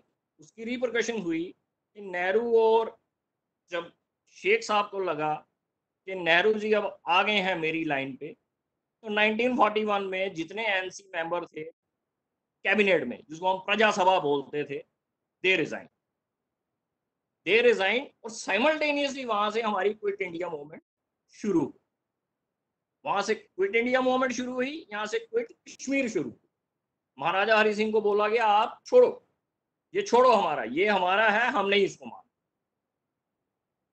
तो ये चीज़ें चलती रही चलती रही चलती रही। अब प्रिलूड आ गया कि 47 के आसपास सिचुएशन ये थी कि अंग्रेज़ों ने डिसाइड किया कि हाँ जी, ठीक है। हम चाहे जो भी राजा है, महाराजा है पॉपुलेशन मुस्लिम है मेजॉरिटी या हिंदू है मेजोरिटी राजा डिसाइड करेगा कि उसको किस साइड जाना पाकिस्तान जाना है या इंडिया के साथ इस डिस्कोर्स में एक बड़ी इंपॉर्टेंट चीज़ थी कि क्योंकि मैंने आपको पहले भी बताया कि प्रताप सिंह के टाइम ही हमारे जो राजा महाराजा थे, उनकी पावर ले ली गई वापस ले ली गई थी। यू कैनॉट डिसाइड वो पावर्स रिस्टोर ये 46 की है। 46 में वो पावर्स रिस्टोर की गई ताकि at the time of accession हमारे महाराजा भी डिसाइड करें जे एंड के के, उनको किस साइड जाना है?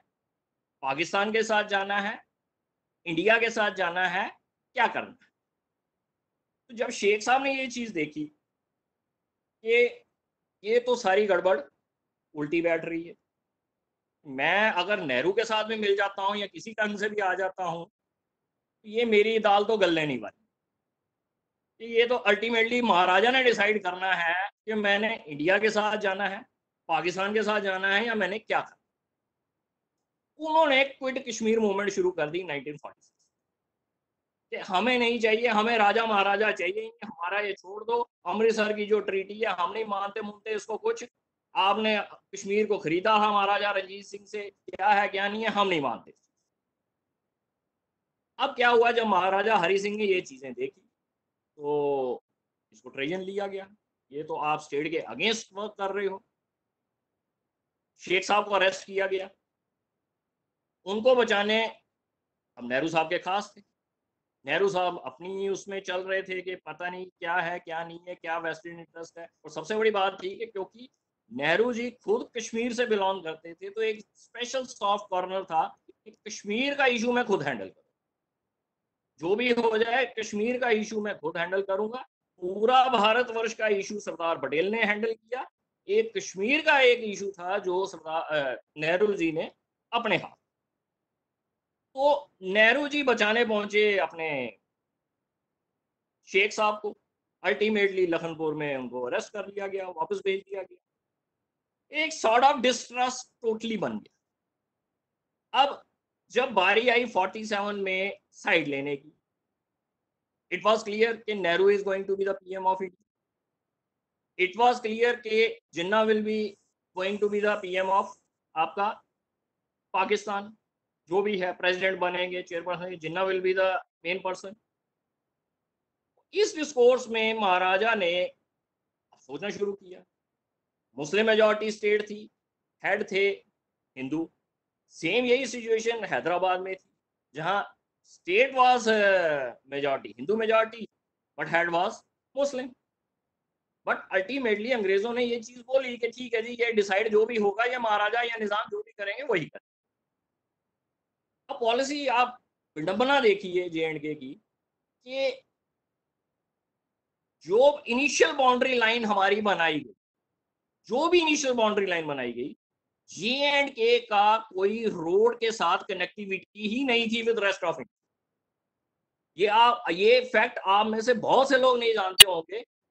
Before boundary wall commission granted three districts of Gurdaspur to India J and K की कोई कनेक्टिविटी ही नहीं बनती।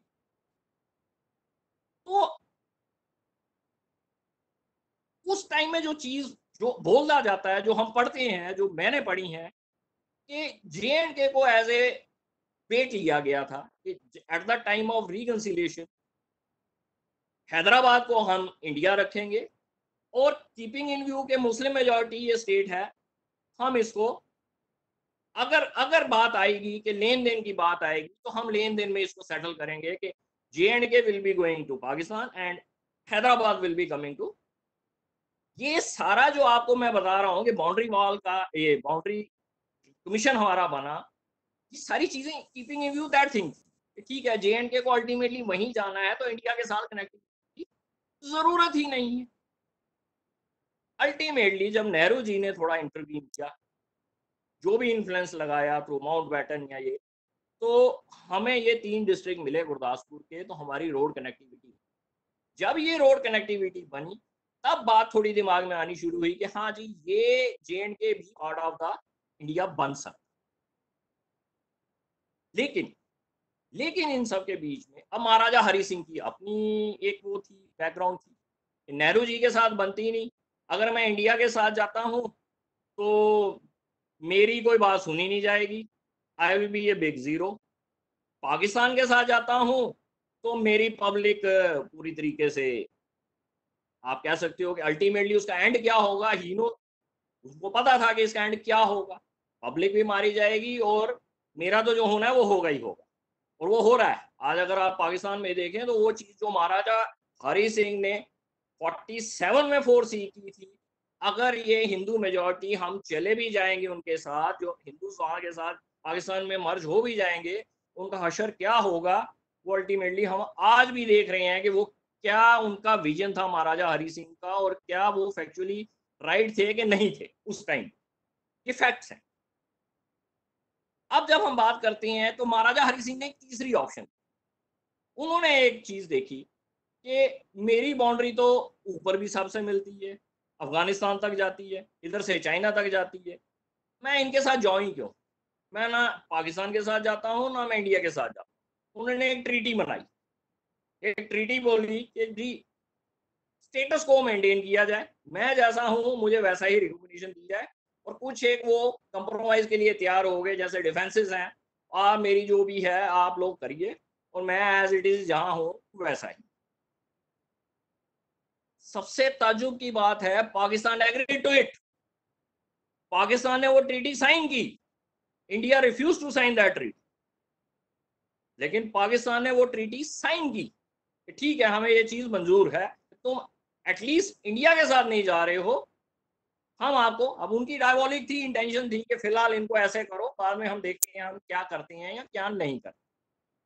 लेकिन वो कहते हैं ना, जो होनी होती है, वो हो के रहती तो पाकिस्तान में कम्युनल राइट्स शुरू हुए। उसकी रिप्रिकॉशन इंडिया में भी शुरू हुई और उसकी रिप्रिकॉशन जे एंड के में भी शुरू हुई। जिसको ये जम्मू राइट्स बोलते हैं या ये है, रजौरी में हुए, पुंछ में हुए मीरपुर का कतलेआम there are number of tragic stories जिनका कोई अंत नहीं है। ट्रेन आती थी। हमारा कोई रेलवे लिंक नहीं था। हमारा सिर्फ़ जो रेलवे लिंक था, सियालकोट के साथ। रेस्ट ऑफ़ इंडिया के साथ कोई रेलवे लिंक ही नहीं था हमारा और ये बड़ी एक मैं आपको, जो मेरे अपने मैं अपने दादी जी से सुनता हूँ या बुज़ुर्गों से सुनता आया हूँ या आप किसी बड़े बुज़ुर्ग से आज भी बात करिए जे एंड के वाले शॉपिंग करने स्पेशली जम्मू वाले जम्मू वाले शॉपिंग करने पठानकोट या पंजाब नहीं जाते थे, वो सियालकोट या लाहौर जाते थे।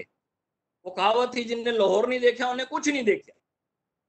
तो ये लाहौर और सियालकोट से हमारा link heart of the city अब जो अगर जम्मू से जुड़े हुए हैं, उनको बड़ा पता होगा कि ये जो एशिया होटल है, यहाँ पे हमारा मेन रेलवे स्टेशन था।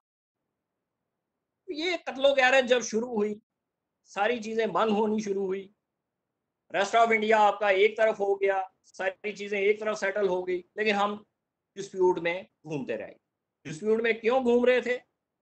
शेख साहब आपके अंदर थे, साढ़े तीन साल के ट्रेजन के उसमें चार्जेस में।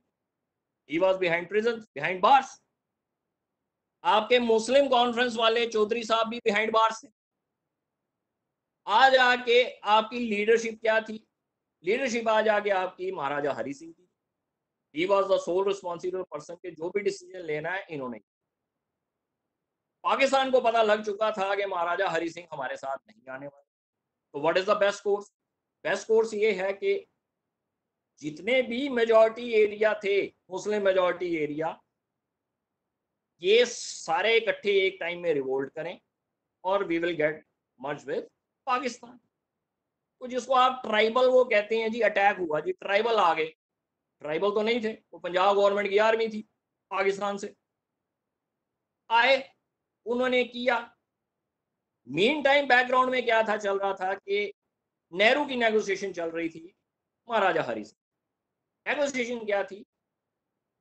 जब महाराजा हरि सिंह को पता लग गया कि हाँ जी, फौज आ रही है। मेरा एरिया, मेरा राज्य जा सकता है। मैं डिफीट हो जाऊँगा अल्टीमेटली पाकिस्तान से। उन्होंने हेल्प मांगी इंडिया से। नेहरू जी ने कंडीशन रखी। पहले आप शेख साहब को छोड़िए, उसके बाद आगे की बात कोई हम करेंगे। मैं इस बात पे क्यों स्ट्रेस देना चाहता हूँ?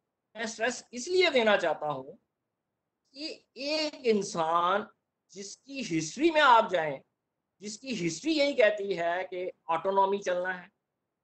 क्विट कश्मीर मुझे इंडिपेंडेंस चाहिए, मुझे ये चाहिए। नेहरू सपोर्टेड दैट पर्सन उसके लिए खड़े हुए नेहरू जी हमारे। नेट रिज़ल्ट क्या हुआ? नेट रिज़ल्ट ये हुआ, वो खींचातानी चलती रही। महाराजा हरि सिंह उनको छोड़े नहीं नेहरू वहाँ से हेल्प करे नहीं। अल्टीमेटली सरदार पटेल ने इंटरवीन किया। जो भी है, सितंबर में जाके शेख साहब को छोड़ा गया। हमारी ट्रीटी अक्टूबर में साइन हुई है।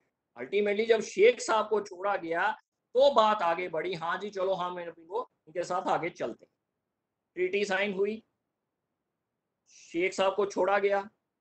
रेस्ट आपको हिस्ट्री मालूम है कि क्या हुआ, क्या नहीं हुआ, लेकिन जो उसके बाद हुआ, वो और ज़्यादा इंपॉर्टेंट है।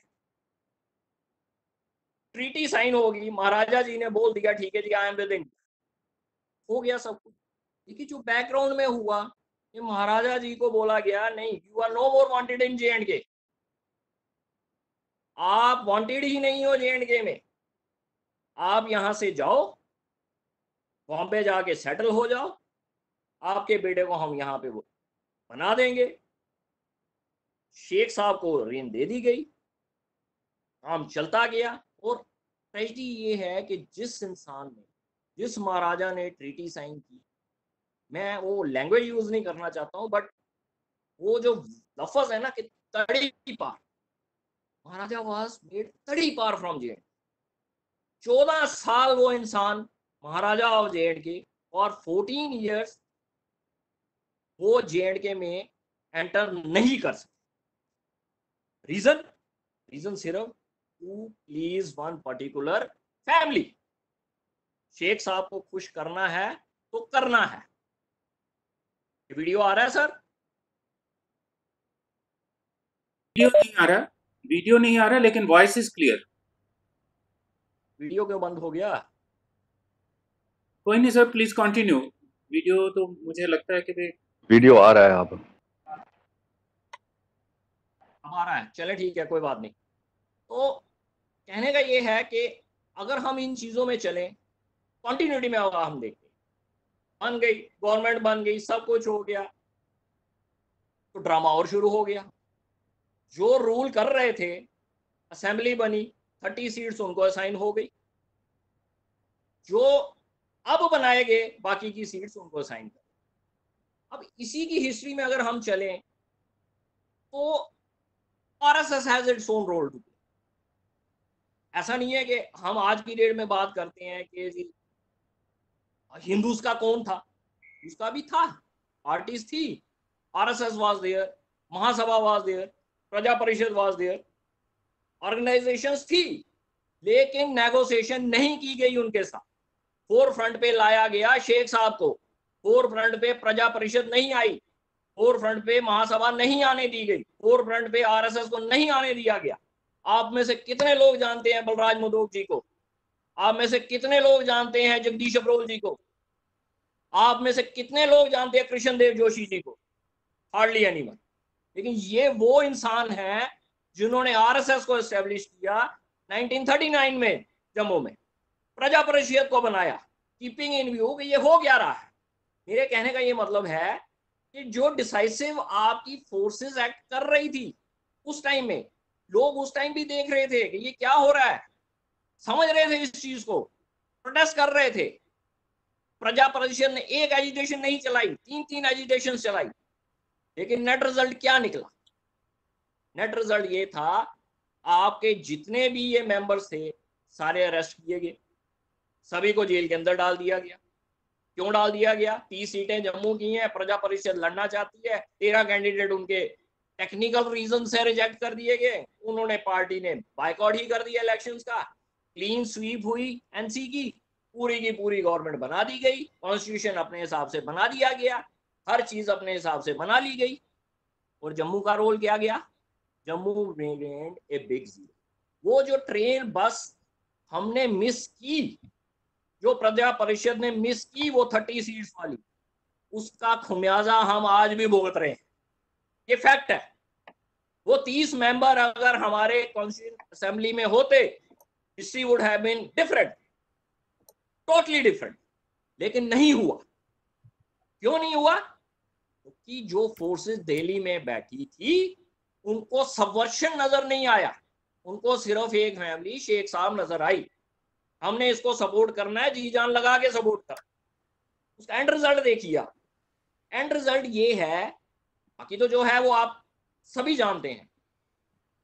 आप जान के हैरान हो जाएँगे कि 71 वार तक जम्मू रेस्ट ऑफ़ इंडिया से ट्रेन के साथ कनेक्टेड ही नहीं था। टिल 1971 वार तक 65 की वार जो हुई, नहीं था। 71 की वार थी, नहीं था। अब क्या हुआ? जब आर्मी को अपना आर्म्स एमुनेशन लाना पड़ा ट्रक में उठा के रिसोर्सेज क्रंच हुई। पता लगा हमारे ड्रॉबैक क्या है। छम में हमने मार खाई टैंक लेट पहुँचे, ये हुआ, वो हुआ। 1972 में जाके हमारी ट्रेन स्टैब्लिश हुई ट्रेन लिंक दोबारा। 1972 में जम्मू दोबारा आपका अटैच हुआ है बाय ट्रेन ये ये मतलब हैरानगी होती है कि हम लोग कहते हैं कि इतने इतने विजनरी लोग थे। फाइव ईयर प्लान बने ये बना, वो बना। जम्मू के साथ आप लोगों ने क्या किया? जो जम्मू आपके साथ खड़ा रहा, टूथ एंड नेल, बलिदान दिए, श्यामा प्रसाद मुखर्जी आए, ये आए श्यामा प्रसाद मुखर्जी को क्या इंटरेस्ट था? वो जम्मू से बिलोंग करते थे क्या? नहीं, एक ही इंटरेस्ट था। ये हो क्या रहा है? अलग झंडा, अलग प्राइम मिनिस्टर अलग constitution he has foreseen things ये क्या होने जा रहा है? ये एक रिपब्लिक बना रहे हैं it's in another republic. Republic के अंदर रिपब्लिक बनाया जा रहा है। और उस उन गलतियों की सजा हम आज भी भुगत रहे आज भी भुगत रहे और थोड़ा मैं लेके जाता हूँ। बन गई स्टेट बन गई सब कुछ हो गया। सर थोड़ा सा आ, समय का ध्यान रखते हुए सर थोड़ा सा ठीक है सर मैं कंक्लूड करूँगा बस यहाँ से यहीं पे मैं यहीं पे इसी जगह पे कंक्लूड करूँगा। जी। वो डिस्क्रिमिनेशन आज भी कंटिन्यू है। जम्मू मेडिकल कॉलेज 1973 में स्टैब्लिश हुआ। मेडिकल कॉलेज ही नहीं था जम्मू में। शेर कश्मीर इंस्टीट्यूट जिसको आप एम्स के नाम से जानते हो वो एम्स नहीं था वो Sher Kashmir institute of medical sciences बना। नाम चेंज कर दिया। That was establish in 1982 in Kashmir Jammu वाला एम्स आज तक एस्टेब्लिश नहीं हो पाया। एनआईटी जिसको आप रीजनल इंजीनियरिंग कॉलेज श्रीनगर बोलते थे गिवन टू कश्मीर। जो भी बात होती है, हम कश्मीर के अभी पटिशेप पे करते हैं आज भी वो चीज़ कंटिन्यू है। कंसेंसस पे अगर हम आज डोमेसाइल की बात करते हैं, कश्मीर का एक ही सोल्यूशन है टू चेंज डेमोग्राफी एक ही सोल्यूशन है।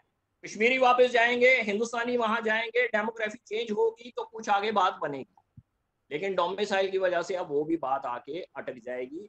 जितने बाहर के आदमी आपका स्टेट ये जो लेंगे, आप डोमिसाइल सर्टिफिकेट लेंगे, मैं आपको गारंटी देता हूँ, कितने जम्मू वाले आज तक कश्मीर में सेटल हुए हैं, जाके ज़मीन कोई नहीं हुआ। बाहर वाला भी नहीं होगा, चाहे वो आई ऑफिसर है, कोई भी है। तो जब तक आप डेमोग्राफी चेंज नहीं करेंगे, वो वहाँ पे बात नहीं बनी मेरी कंक्लूजन इतनी ही है, इतनी ही रिक्वेस्ट है जो भी हमारे थिंक टैंक सोचते हैं, करते हैं, उसको इम्प्लीमेंट करते हैं, लेकिन उन चीज़ों के कॉन्सिक्वेंसेस हमें 10 साल बाद 20 साल बाद या नेक्स्ट जनरेशन को भुगतने तो रिक्वेस्ट यही है कि जो भी हमारा थिंक टैंक है तो प्लीज़ थोड़ा सा कंसिडरेट हो। नेशनलिस्ट फोर्सेस को आप स्ट्रॉन्ग करेंगे तो हम आगे बढ़ पाएँगे। जम्मू स्ट्रांग होगा तो आप कश्मीर को होल्ड कर सकते हो। नहीं तो आप ये मेरे से ले लो जिस ढंग से डेमोग्राफिक चेंजेस जम्मू में भी हो रहे हैं आने वाले 20 साल 25 साल 30 साल में आपका ये डेमोग्राफिक चेंज भी हो चुका होगा and we will lose J and K on demographic front population 100 percent Muslim radicalization हो चुकी होगी बहुत देर हो चुकी होगी आप कुछ नहीं कर पाओगे। इसी के साथ मैं कंक्लूड करता हूँ। धन्यवाद। थैंक यू धन्यवाद राजन गांधी जी। आ, आप मेरी आवाज़ से अनुमान कर सकते हैं कि कितनी डिस्टर्बिंग फैक्ट्स जो हमने सुने हैं, उसका कैसा प्रभाव मैंने भी अनुभव किया है। कुछ तथ्यों से तो मैं परिचित था, लेकिन ये ग्राउंड रियलिटीज़ जो हैं और ये डेमोग्राफिक चेंजेस वाली बात भी बहुत हद तक सच होती नज़र आ रही है। और ये समस्या केवल यहाँ जम्मू कश्मीर की ही नहीं है डेमोग्राफी की, ये केरल में भी उसी तरह से उभर कर आ रही है। लेकिन हम लोग उसको इग्नोर कर रहे हैं क्योंकि हम लोग सेकुलरिस्ट हैं। हम कैसे ऐसी बातें कर सकते हैं? हमारा संविधान खतरे में पड़ जाएगा तो बहुत डिस्टर्बिंग फैक्ट्स हैं। और ये तो मुझे लगता है कि आपने बहुत कम और संक्षेप में हमें ये सारी बातें बताई हैं। अभी तो और जब हम इसको गहरे से देखने लगेंगे तो इस तो और कितना कुछ निकलेगा, अभी तो हमें पता ही नहीं है। ब्लेम तो अक्सर हम राजा हरि सिंह को कर देते हैं, लेकिन जो उसके पीछे पॉलिटिक्स चला है, उसके बारे में कोई बात करके भी राज़ी नहीं होता। कैसे हम लोगों के माइंड वॉश आउट किए जाते हैं, और पर्टिकुलरली जो अपकमिंग जनरेशन है उसमें किस तरह से किसको जो है वो, किस रूप में प्रस्तुत कर दिया जाता है, ये हम लोग, हमारी लड़ाइयाँ तो इन्हीं चीज़ों में लग जाती है। एनर्जी इन्हीं चीज़ों में लग जाती है कि हर बार वो एक नया शब्द ढूंढ के ले आते हैं, और फिर हम लोग जो हैं उसको गलत, सही या उसके प्रतिपक्ष में खड़े होने का प्रयास करते रहते हैं। हम अपना नैरेटिव तो सेट ही नहीं कर पा रहे। मुझे लगता है आपकी बातें सुन करके कि नरेटिव को हमें डिज़ाइन करना चाहिए, हमें एस्टेब्लिश करना चाहिए और फिर उसके बाद जो है आगे होना, आगे चल सकते हैं। अन्यथा हम उनके लाए हुए नरेटिव को ही फॉलो करते रहेंगे, उनके साथ भिड़ते रहेंगे और उससे कुछ बहुत ज़्यादा हासिल नहीं होगा। हालाँकि बहुत कुछ बदला है लेकिन अभी बहुत कुछ बदलने की ज़रूरत है और बहुत सारे तथ्यों को सामने लाने की ज़रूरत है। तो इन्हीं शब्दों के साथ मैं आपका धन्यवाद करता हूँ, आभार व्यक्त करता हूँ कि आपने हमारी दृष्टि को और ज्ञान को विकसित किया है। हमारी सोच और समझ को तथ्यात्मक बनाया है, उसके लिए मैं आपके प्रति अपना आभार व्यक्त करता हूँ।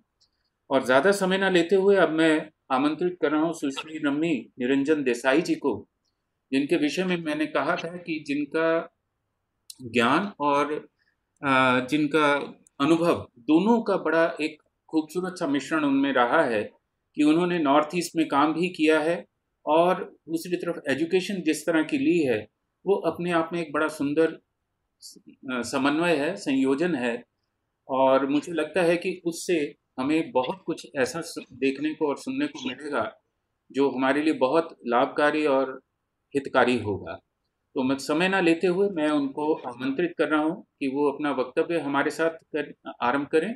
और उससे पहले कि जिन लोगों को थोड़ी सी उत्सुकता है ये लिंक के लिए कृपया थोड़ा धैर्य रखें। ज्ञान के लिए आप इस चर्चा में आए हैं। आप लोगों को हम निश्चित रूप से लिंक देंगे लेकिन अंतिम वक्ता के बाद। जी मैम प्लीज़ कैरी ऑन नमस्कार आशुतोष जी। आपको आवाज़ आ रही है? जी ma'am loud and clear alright thank you Uh, namaskar, everyone. It is truly such an honor and privilege for me to be here amongst all of you today. Um, to begin with, I would like to thank all the organizers, Ashutosh Ji, Sanatan Dharma College, Maharaji Valmiki Research Council, Darshan Yoga Sansthan, and Human Development Policy Research and Training Center, as well as everybody else who has made this webinar possible. And I'd like to sincerely thank you for giving us an opportunity to openly discuss our thoughts on such a complicated subject which is usually not possible, unfortunately.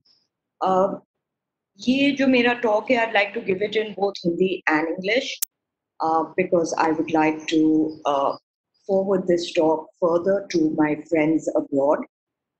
Um, to begin with, I would like to say as much as we like to romanticize Jammu and Kashmir um, as our own little piece of heaven, uh, unfortunately, in reality, it, it's a state now, Union Territories, that has uh, time and again presented situations that has absolutely shaken us to the core. A state that has given birth to such horrific incidents, um, and no offense to anybody, but it has. That has made us question the very sanctity of not just our democratic values, but also our human values. Therefore, unfortunately, today I am not able to discuss the vibrant culture and religion of Jammu and Kashmir that was preserved for eons by our Hindu brothers and sisters in the state, but to discuss how systematically justice and human rights has been subverted and denied to our Hindu brothers and sisters. And uh, when the time came to intervene, uh, by which I mean when the time came to abrogate Article 370, 35A, uh, and when the time came to correct all the wrongs, the world cried foul. अगर आपने Indian media देखी अगर आपने western media देखी सबने कहा कि अरे यू नो ये गवर्नमेंट इतनी रेडिकल है इतनी फैसिस्ट है जम्मू और कश्मीर का स्पेशल स्टेटस स्ट्रिप कर दिया है Anyway, to begin with, uh, let me say that uh, the topic of the webinar today is uh, Jammu and Kashmir and breaking the subversive web, a theme that has formed the basis of the recently released book by Dr. Mahesh Paul by the same name, and it's published by Shubhi Publications. Um, jinke owner hai Sanjay ji, who is one of the few, unfortunately, again, publishers who has allowed, and he's published my book also, who has allowed us to talk about these very difficult and complicated subjects jinka you know narrative already set ho chuka he's allowed us to talk about it without any limitation without any edits which is a very big thing especially when it comes to jammu and kashmir. Um, but uh, to begin with let me say the first line of the book in the acknowledgement section states बड़ी interesting line है जो महेश जी ने लिखी है to tell the truth is a challenge but to tell the truth about subversion is a battle and ये जो opening line है इस बुक की it rings very true to me because to change the narrative to talk about uh, to talk about uh, the actual on ground reality um, it is not easy. It is very, very difficult. And, uh, you know, the Indian society has made it even more so difficult with its lopsided view of uh, uh, narrative pleasing here to the Western world. Anyhow, um, you know, uh, while trying to, you know, while we try to uncover all these uh, premeditated confusions, the lies, the fraudulent nomenclature, and the politics involved in studying the reality on ground, the problem is that ज़्यादातर लोगों को लगता है कि majority uh, जो है इस देश में and not only here anywhere in the world but the Sanatani is in India उनके राइट सबवर्टेड नहीं हो सकते। That when we talk about subversion of right when we talk about human rights ये जो lens that we use to see it can only be from the minority perspective and this has been exactly the case in Jammu and Kashmir. It has also been the case in the Northeast, where I have spent majority of my time and I have done a lot of research work. But um, you know, Jammu and Kashmir, we're talking about that today, so I will stick to that. Um, the problem is because वहाँ जो oppression हुआ है, वहाँ with the Muslim community नहीं हुआ है. So we cannot look at it from a point of view of subversion. This is the narrative. Many get you, but this is how people think. For example, Islamophobia is such a commonly used word now. सब बातें करते हैं अगर थोड़ा सा भी criticism आप करिए तो सब कहते हैं इस्लामोफोबिक है इस्लामोफोबिया है बट हिंदूफोबिया के बारे में कोई बात नहीं करता है Hinduphobia is something that everybody likes to hide but um, to clarify, I'd like to say I don't see myself as a pure academic. I see myself as a seeker, a seeker of absolute truth. So my research is based on fieldwork. Uh, it's not based on what I read. It's not based on what I see in the media. To me, all that I read, all that I see in the media is secondhand information, it's secondhand analysis. So whatever I've written has been based on years of field work, living amongst locals, my interviews, and uh, pretty much first-hand resources. And it is through this field work that I stumbled upon what the actual situation is in Jammu and Kashmir.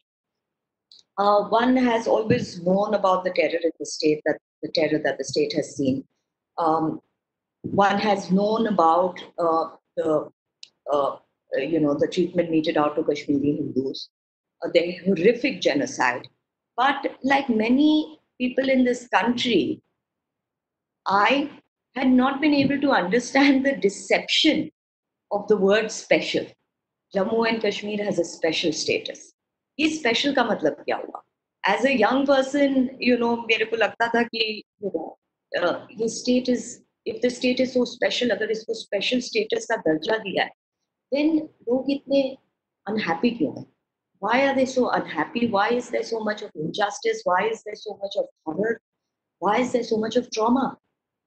What is this word special? And what is this word hiding?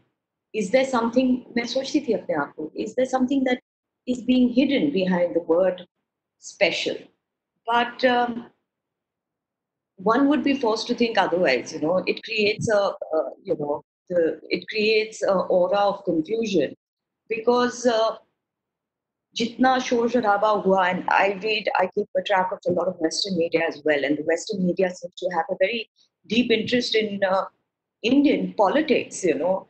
And uh, jitna maine shor sharaba dekha about, uh, you know, ye special status Jammu and Kashmir ka strip kar diya gaya hai, you know, बहुत गलत किया है radical government है you know कोई सोचेगा कि the special status is a medal that has been given to the state. And, uh, you know, this was very apparent uh, uh, when we abrogated 370 and 35A. All I heard was people complaining and upset. And, you know, a layman would think that the special status offered to the citizens of Jammu and Kashmir was something extra, something more than the rest of the country. But uh, a decade ago, I went to Jammu to study and I made a documentary on a peculiar situation of the West Pakistan refugees, uh, which I soon realized was just a veneer. It was just, uh, you know, eh, jaise parda lagaya uh, you scratch the surface and you can see the truth. There was violation of rights, exploitation of people and resources, rampant corruption, and it was all justified under uh, decades, you know, of uh, telling us that this is under the special status. People, Indians especially, are very naive. They're simple. And जैसे आशुतोष जी ने कहा कि you know uh, हम अपने ही problems में इतने uh, you know इतने problems में हम फंस चुके हैं कि हम subject के अंदर we don't want to go in deeper we don't want to see deeper we don't want to see कि uh, असलियत क्या है especially as people who uh, are not from Jammu and Kashmir. Of course, citizens of Jammu and Kashmir would understand the situation so much better than us, you know, but uh, people from outside, we don't care, you know, and, uh, um, uh, you know, uh, all of uh, India, you know, that's why I thought Jammu and Kashmir was uh, enjoying something special. But the truth is that the special status was a guise, and it was put in there to subvert the truth using Article 370 and 35A. And uh, this was also used to change the demography of the state. And I have seen this happen in uh, the Northeast as well.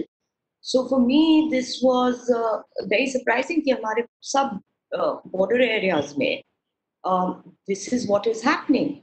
Uh, the article allowed the state government to decide who was a permanent citizen of the state and who wasn't.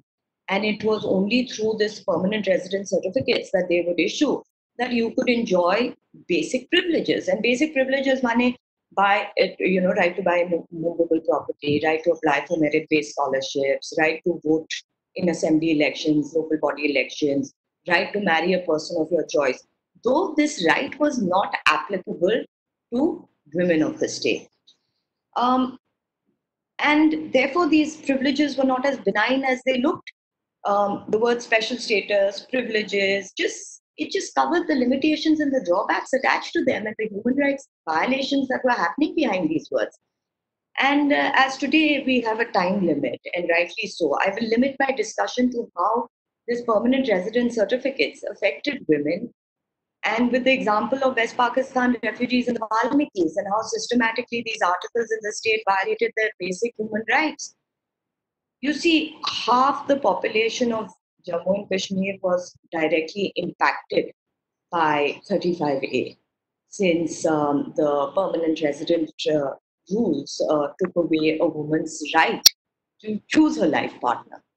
Article 35A institutionalized uh, this. If a PRC holding woman married a non PRC holder, her family would not get any privileges, which basically meant that either she would have to live like a second class citizen in the state or had to move out.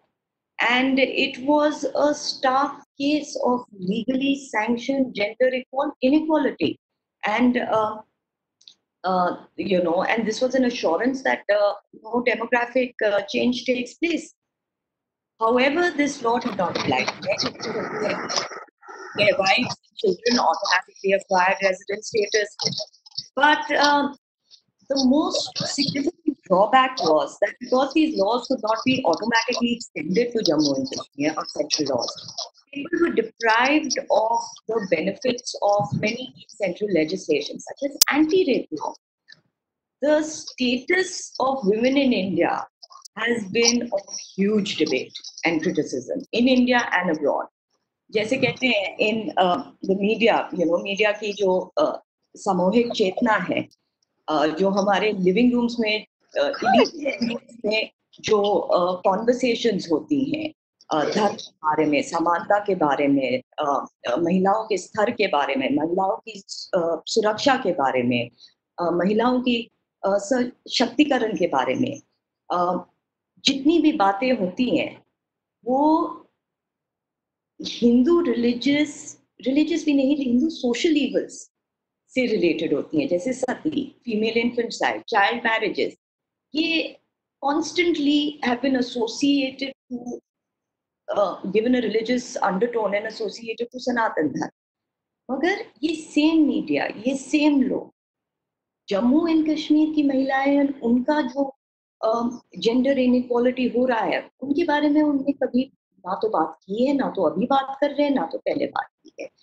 बहुत western media ने, बहुत Indian media ने बहुत crimes against women के बारे में बात किया है, दिल्ली में, उत्तर प्रदेश में। मगर जम्मू एंड कश्मीर में जहाँ ये इंस्टीट्यूशनलाइज हो चुका है जहाँ this is a part of your legal framework you know इसको क्या बोल सकते हैं? You can only call it you know legal and institutional jihad peripheral journalism is marred with prejudice and has created a bigoted narrative. जैसे आशुतोष जी ने पहले कहा। Media ji?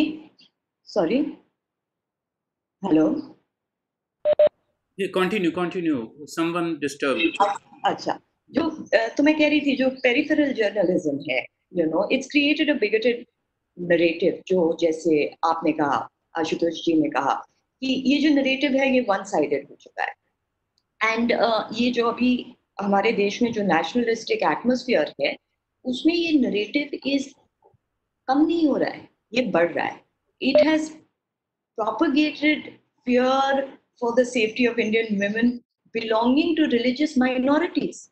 But it never spoke about the marginalized Hindus, Sikh, even Burkha women who were in Jammu and Kashmir, who did not have basic rights. No, no one ever spoke about, uh, uh, uh, you know, how gender inequality Jammu and Kashmir में institutionalized हो चुका है और जितने हमारे liberal analysts हैं, you know, उनने भी थ्रू दिस वो सब चीज़ पढ़ते हैं सब चीज़ नोट करते हैं हर छोटी चीज़ पे आवाज़ उठाते हैं मगर uh, I have never seen an article on this, you know. But anyway, things are no different, uh, you know, today as well. And, um, you know, I'd like to come to the point, which is uh, uh non, uh, apart from women, non Muslim backward communities, Jammu and Kashmir, mm-hmm. how they have had to suffer. You know, while I was making this documentary, actually, मैं, uh, you know, जैसे west Pakistan refugees का case है Jammu and Kashmir में ऐसे बहुत cases north east में because north east also has states that are protected again they are special states जिसमें uh, जितने हमारे बांग्लादेश से रेफ्यूजीज आए थे and specially Hindu refugees don't have any rights तो जब मैंने वेस्ट पाकिस्तान रेफ्यूजीज के बारे में सुना I thought it is very important for me to go and meet them and मैंने कैलकुलेट किया कि जो आई विटनेसेस थे पार्टीशन के you know know it is it, they must be of a certain age so it's very important to get their point of view. और ये documentary को I named it आज़ाद देश के गुलाम लोग बिकॉज़ जो मैंने इनके बारे में सुना था जो मैंने इनके बारे में देखा था I they were no better than slaves in this country waste Pakistan refugees की जो story here is particularly, you know, terrifying because you don't realize that this can happen in our country. 1947, May during the partitions, a partition of India, refugees from Pakistan migrated to various parts of India. But uh, unfortunately, West Pakistan refugees, mostly Sialkot city village, you know, Jammu pass padta tha, and uh, they were thinking कि हम कहाँ जाएं तो उस time पे prime minister थे शेख अब्दुल्ला जिनने कहा कि नहीं, उन्हें अश्योर किया कि नहीं, आप जम्मू में आके रहिए and we will give you full citizen privileges अगर this promise was not honoured and you know it's important for me to say this here कि जब इनको प्रॉमिस कर रहे थे, तब साइड बाय साइड वो Uyghur Muslim families Uyghur Muslims आपने सुना होगा चाइना से हैं, मगर मुस्लिम्स हैं, उनने, उनको सिटीजनशिप ग्रांट करने में ही हैड नो प्रॉब्लम मगर जो वेस्ट पाकिस्तान रेफ्यूजीज थे he never fulfilled his promise so when I went there I decided कि मैं ये डॉक्यूमेंट्री बनाऊँगी क्योंकि आजकल विजुअल जो इफेक्ट्स होते हैं लोगों के you know how it affects the youth is far more than you know, reading because they don't read much anymore. So, when i went for my documentary, i met the elders of the community. who, who you know eyewitnesses थे उनने शेख अब्दुल्ला की promise uh, uh, you know they had witnessed it Um, and they were already 85, 90 years old by the time I went.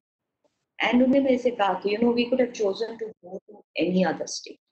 जैसे दूसरे refugees गए पाकिस्तान में हम भी जा सकते थे मगर we chose to come to Jammu because of promises that was made to us by the government. Um, but up 72 years after the partition, we are still living like slaves because हमारे पास PRC नहीं है हमें citizenship state citizenship rights नहीं मिले हैं तो ना तो हम वोट कर सकते हैं ना तो हम we can get any jobs neither can we uh, get any state benefits neither can we vote um, quite a few of them from that time moved to other states मगर जिनकी बिल्कुल बुरी हालत थी they couldn't move they had to stay on तो आप समझ लीजिए कि तीन generations of West Pakistan refugees have lived like refugees without any benefits that was given to every other refugee that came into this country. About 20,000 families and uh, about 1 lakh members, usme se aadhe were women. Uh, the state was responsible for not giving them basic human rights. And uh, like I said, they could not avail, they couldn't avail state scholarships, they could not vote in assembly, municipal panchayat elections, and West Pakistan refugee women and children were in the worst condition.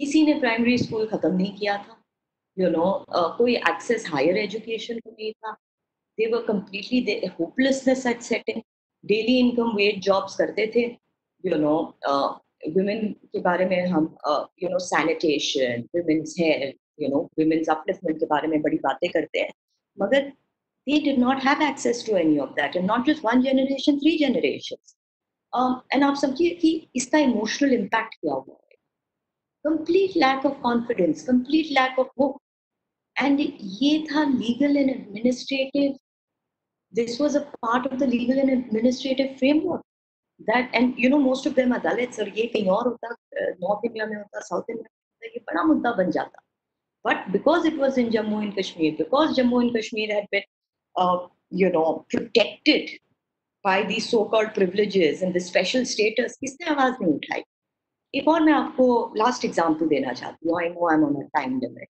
I would like to give an example of a very brave girl जो एक दलित community से आती है backward community से आती है call Valmiki called Radhika Gill. कई लोगों ने आप लोगों ने सुना होगा उनका नाम, क्योंकि काफ़ी उनकी बात चली थी। And lot of you must not have I heard of the first time I heard of the Valmiki community for the first time Radhika Gill was a very is a very talented and great Valmiki Dalit Uh, she was also a victim, and so was her community, of this legal and administrative discrimination. Top ranking athlete रह चुकी थी। सब test उनके father पैसा बचा बचा के उनको uh, अपने एग्ज़ाम्स के लिए ले जाते थे। सब टेस्ट में उसने क्वालिफाई किया। सेंट्रल फोर्सेस ज्वाइन करना चाहती थी। एंड uh, जम्मू में एक बार रिक्रूटमेंट रैली हुई जिसमें अगेन उनके फादर ने कहा कि उन्हें पैसे जोड़े बिकॉज़ ही वॉज़ सफ़ाई कर्मचारी। एंड uh, uh, मैं उनको एग्ज़ाम के लिए ले गया बट जब वो वहाँ पहुँची she pass this exam they told her that आपके पास तो परमानेंट रेजिडेंट सर्टिफिकेट ही नहीं है अगर आपके पास परमानेंट रेजिडेंट सर्टिफिकेट नहीं है you can not get this job. Magar, there was something even worse that was a part of, you know, their fate, which was that Article 35A had such an insidious provision that when Valmikis laaye gaye the, they had come from, they had been brought in um, to the state in 1957 because Jammu ki state mein sweepers union, the Safai Karmachari union you know, there was a problem and uh, there was a very long standing strike. So to fulfill that gap of Safai Karmacharis, these Valmikis were brought into Punjab. Um, ये जब पंजाब से लाए गए थे again same promise इनको बोले थे कि you know we'll give you state citizenship give you privileges मगर this was a lie because इनने ऐसा प्रोविज़न डाला कि they could never change the job from a sanitation worker to any other profession this was a provision in article thirty five eight you know, uh, 272 sleeper families were brought in from, you know, uh, Punjab and moved to Jammu with an assurance that they will be made permanent residents. But esa diabolical clause in Logan et al. that he, again, three generations in Logan three generations lived under, under this provision that no matter how talented they were, no matter कितनी लड़कियाँ राधिका गिल जैसी थी या कितने लड़के you know अपने educational you know vision में successful रहे हैं, मगर वो खाली सफ़ाई कर्मचारी स्टेट के अंदर बन सकते थे।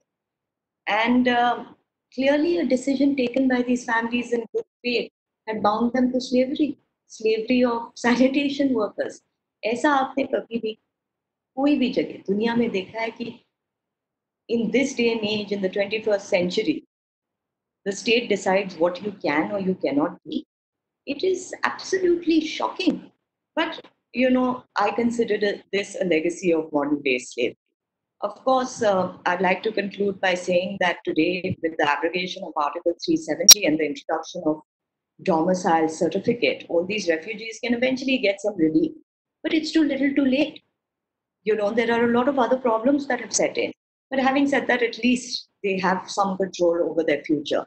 You know, even though two generations have been lost to this legal and administrative jihad, and still, as recently as uh, yesterday, there was an objection from the PDP and the NCP when some of the first domicile certificates were issued.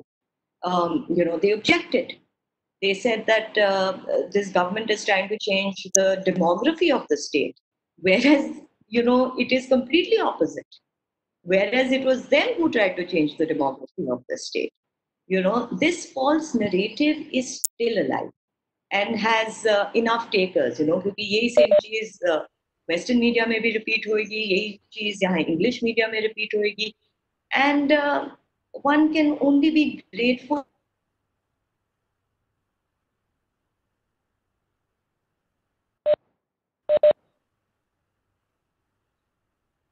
I'm very grateful and I'm very thank you for listening to me and uh, for making me a part of this webinar. Thank you. Thank you so much ma'am thank you so much बहुत enlightening and really thrilling experience listening to you एक जो बात मुझे मैं आपकी आखिरी बात से uh, शुरू करना चाहूँगा ये बात कि ये जो नरेटिव मीडिया में नहीं आया और सोशल साइंटिस्ट ने भी जो इसके बारे में बात नहीं की वो इसलिए नहीं की क्योंकि वो दलित ब्राह्मण के कॉन्टेक्स्ट में इस चीज़ को फिट नहीं कर पाए। इसलिए ये कभी भी मीडिया में नहीं आया। अगर ये इस तरह का एक नेरेटिव ये उनके उसमें फिट हो जाता है कि ये दलित वर्सेस ब्राह्मण है तो रेस्ट ऑफ़ इंडिया की तरह ही वहाँ की भी बात हो सकती थी। वो मुश्किल नहीं था लेकिन क्योंकि ये मुस्लिम डोमिनेंट एरिया था और वो उसको उस नरेटिव में फिक्स नहीं कर पाए ये एक बहुत बड़ा कारण रहा है। और बाकी जो आपने ये बातें बताई हैं, बाकी जैसा मैं सोच रहा था और जैसा मैंने आपका प्रोफ़ाइल देखा था कि आपका एक्सपीरियंस और आप जिस तरह की आपकी एजुकेशन है, दोनों का बहुत खूबसूरत तालमेल देखने को मिला है। I am really grateful to you on enhancing our perception and our understanding about the whole issue I am really grateful to you and before I invite major general A K Shori to present the vote of thanks I will like some comments or some questions from the speakers. So any one can ask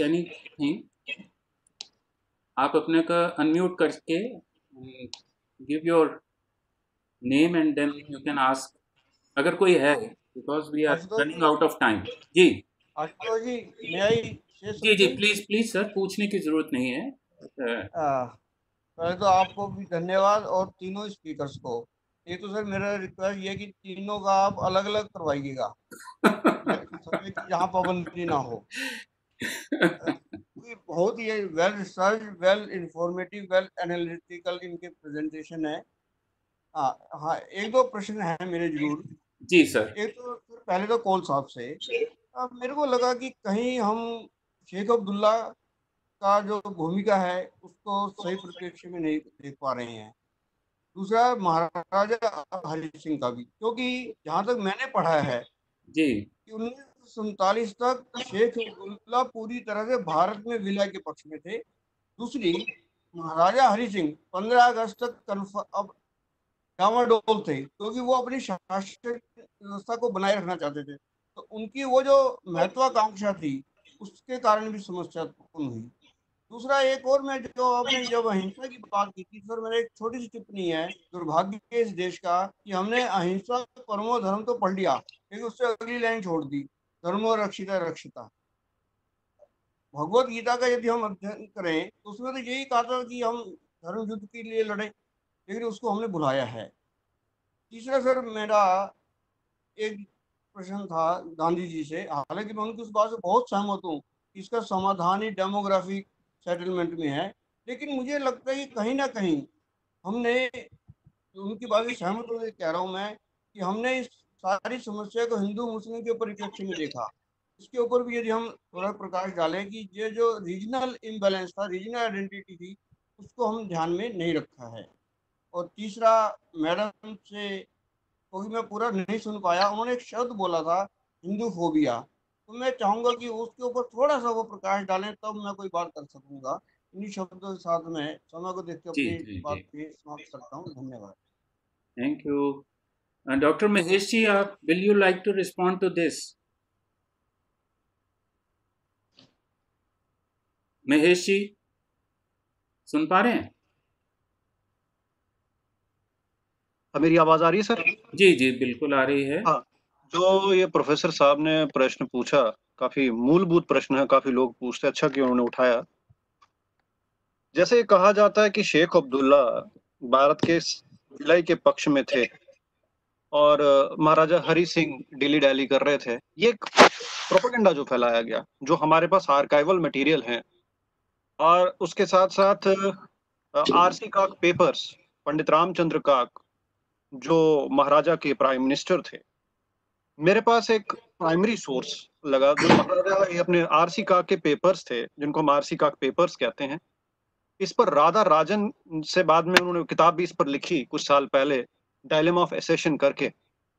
और पहली बार पक्ष सामने आया, ये मेरे मन में भी प्रश्न थे कि जिसको सेकुलर बताया गया और ये। जम्मू कश्मीर में जो एक पैटर्न रहा, राजन जी ने बड़ा विस्तार से उस पर बात की है हिस्ट्री को मैं वो काफ़ी ध्यान से सुन रहा था। जम्मू कश्मीर में ये जो लड़ाई है, सबसे पहले मैं कहूँगा कि लोग कहते हैं कि ये हिंदू मुस्लिम लड़ाई नहीं। मैं पूरे पैर ठोक कर ये कहता हूँ कि जम्मू कश्मीर में जो लड़ाई है it is a communal problem ये साहस हमें करना होगा। जब तक हम साहस नहीं करेंगे सब वर्षन होता रहेगा, हिंदू डिस्प्लेस होता रहेगा, भारत टूटता रहेगा। दूसरी बात, और ये आरसी का पेपर्स कहते हैं कि एसेशन से पहले और एसेशन के बाद क्या हालात थे? हम डायलेमा में थे। लेकिन जो विडंबना ये है कि जो आपने इकबाल, मोहम्मद इकबाल का नाम तो सुना है सबने। Iqbal was the fountain head of Pakistan movement Islamic homeland का। और पंजाब में आरहर्स थे और अहमदिया थे। इन्होंने मिलकर जत्थे बनाने शुरू किए पंजाब में। पंजाब से जैसे राजन जी ने कहा, लिंक यहीं से था। वहाँ से सब कुछ शुरू हुआ। ये इंट्रूजन करते थे। कश्मीर में रीडिंग रूम पार्टी बनी। जम्मू में यंग मुस्लिम मुस्लिम एसोसिएशन बनी, जिसमें गुलाम अब्बास से कश्मीर से शेख थे। इनको यहाँ गठजोड़ किया गया। और ये कहना गलत होगा कि वो विलय के पक्ष में थे। शेख अब्दुल्ला एक सबवर्सिव एजेंडा चला रहे थे। बरजोर दलाल रिपोर्ट 1931 की। इसमें सारी टेस्टमनीज है। वो हमारी नहीं बनाई, उसमें सारी टेस्टमनीज है। शेख ने सबवर्सिव ऑर्डर कैसे चलाया? और शेख के पीछे इकबाल साहब का क्या हाथ रहा? और इकबाल ही बानी थे और जिसको बाद में जिन्ना ने आगे चलाया, वो एडवोकेट की तरह काम किया। और दूसरी बात, ये जो कहा जाता है कश्मीर में, ये नया कश्मीर जिसको ये बात कहते हैं, वो सारा सबवर्सिव एजेंडा था। ये रशियन मैनिफेस्टो था, जिसको फ्रेडा बेदी पता नहीं आपने सुना, और डीपीएस बेदी जो कबीर बेदी बहुत अच्छे एक्टर माने गए भारतीय फ़िल्म उद्योग के, उनके माता पिता ने इसको ट्रांसलेट करके यहाँ फिट किया। देवर सबवर्सिव प्लांट्स और द लेफ़्ट मूवमेंट जिसमें अधिकारी भी थे, ये सारा चलता गया। शेख वॉज़ कोऑप्टेड तब भी इस्लामिस्ट और लेफ्टिस्ट में गठजोड़ जो आप देख रहे हो, ये वही है जो पूरे भारत में देख रहे हो। हम कहते हैं कि लेफ्टिस्ट और इस्लामिस्ट का जो साथ में गठजोड़ है, वो वही है जो अधिकारी डॉक्ट्रिन था जिसने पाकिस्तान मूवमेंट को सपोर्ट किया, उसी ने जम्मू कश्मीर में कम्युनल मूवमेंट को सपोर्ट किया। और शेख साहब वॉज़ पार्ट ऑफ़ इट उनकी आतिश चिनार पढ़िए। और आतिश चिनार में वो क्या लिखते हैं जो उनकी ऑटोबायोग्राफी है, वहाँ से क्लियर होता है। और दूसरी बात जो ये है कि यहाँ पर महाराजा प्रताप सिंह के टाइम से सबवर्शन हुआ रेजिडेंट्स को लाया गया, जो यहाँ ट्रीटी हुई, पहले अंग्रेज़ों के साथ, पहले अठारह में जो महाराजा के साथ, बाद में उससे पहले सिखों के साथ हुई, उसके बाद ये हुई, और पहली स्टेट है जहाँ पर पूरे फुल फ्लेज राइट्स थे नॉर्दर्न फ्रंटियर पर आपके महाराजा के, और Tibet is also part of Jammu and Kashmir Jammu and Kashmir princely state और Maharaja was suppose to be the sovereign of that उसको कैसे स्क्वेंडर किया गया?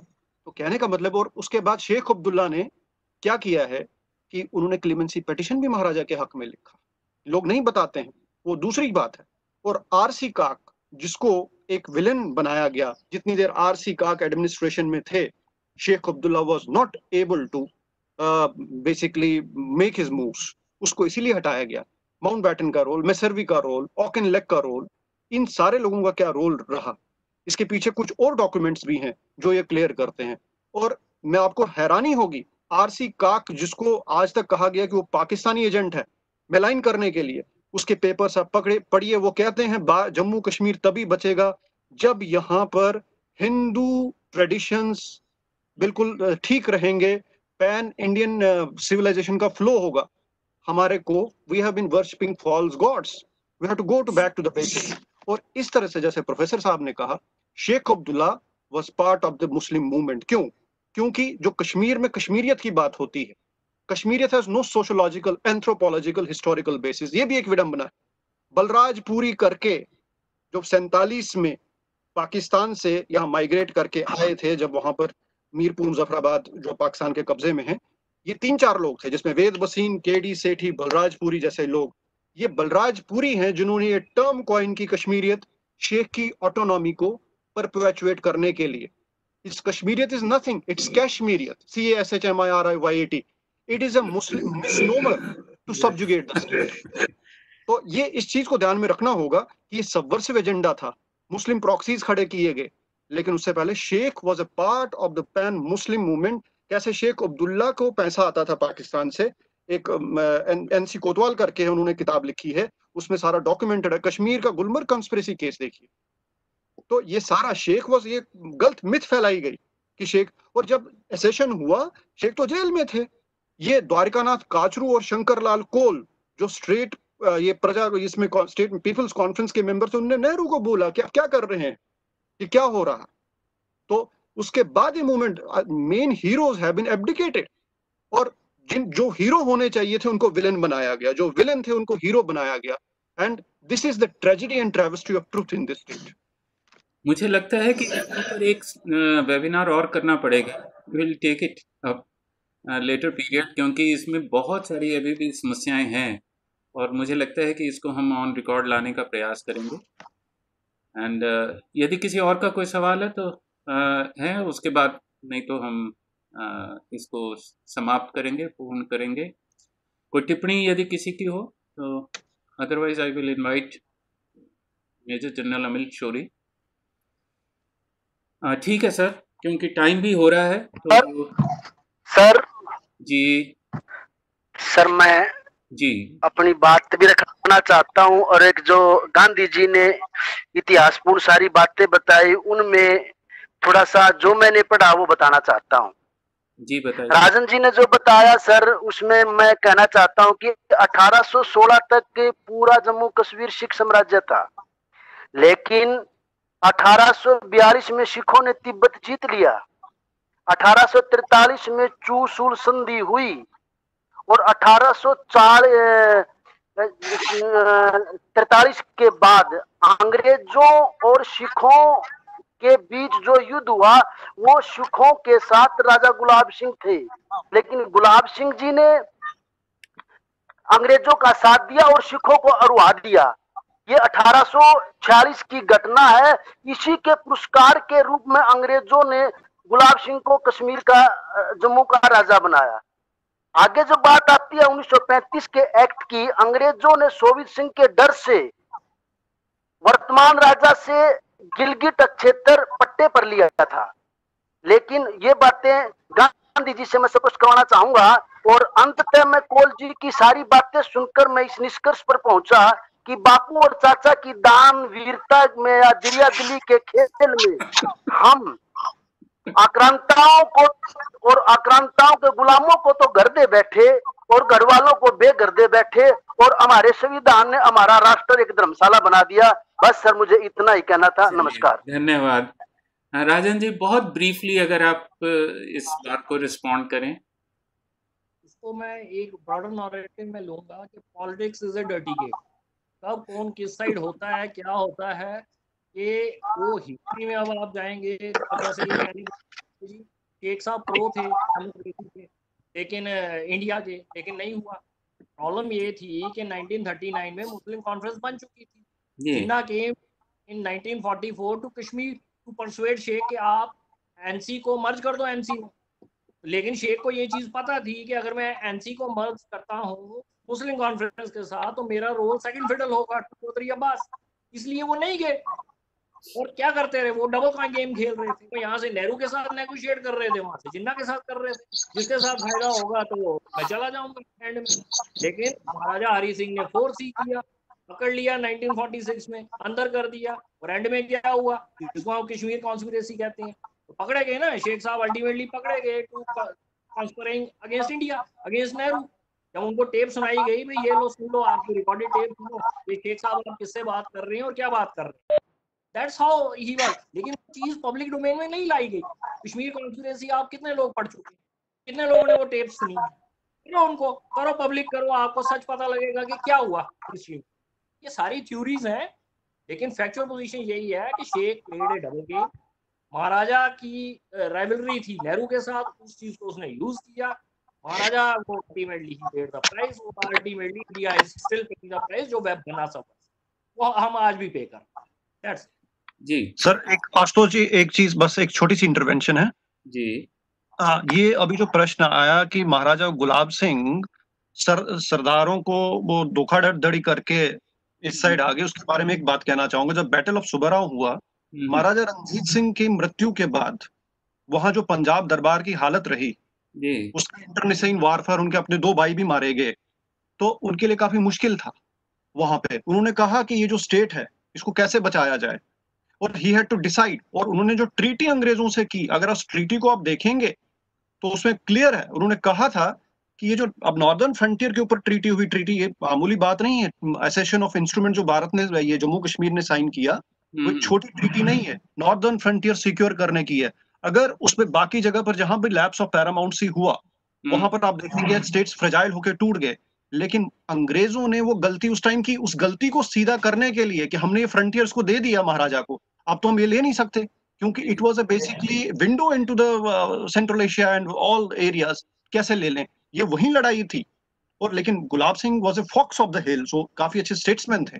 और रंजीत सिंह पर कभी बात और करेंगे, लेकिन ये उस टाइम में स्ट्रेटेजी एक बेसिकली एक किताब है सीताराम कोहली की, मेरे ख्याल से I I forgot that book क्या है? फॉल ऑफ़ सिख अंपायर करके एक किताब है।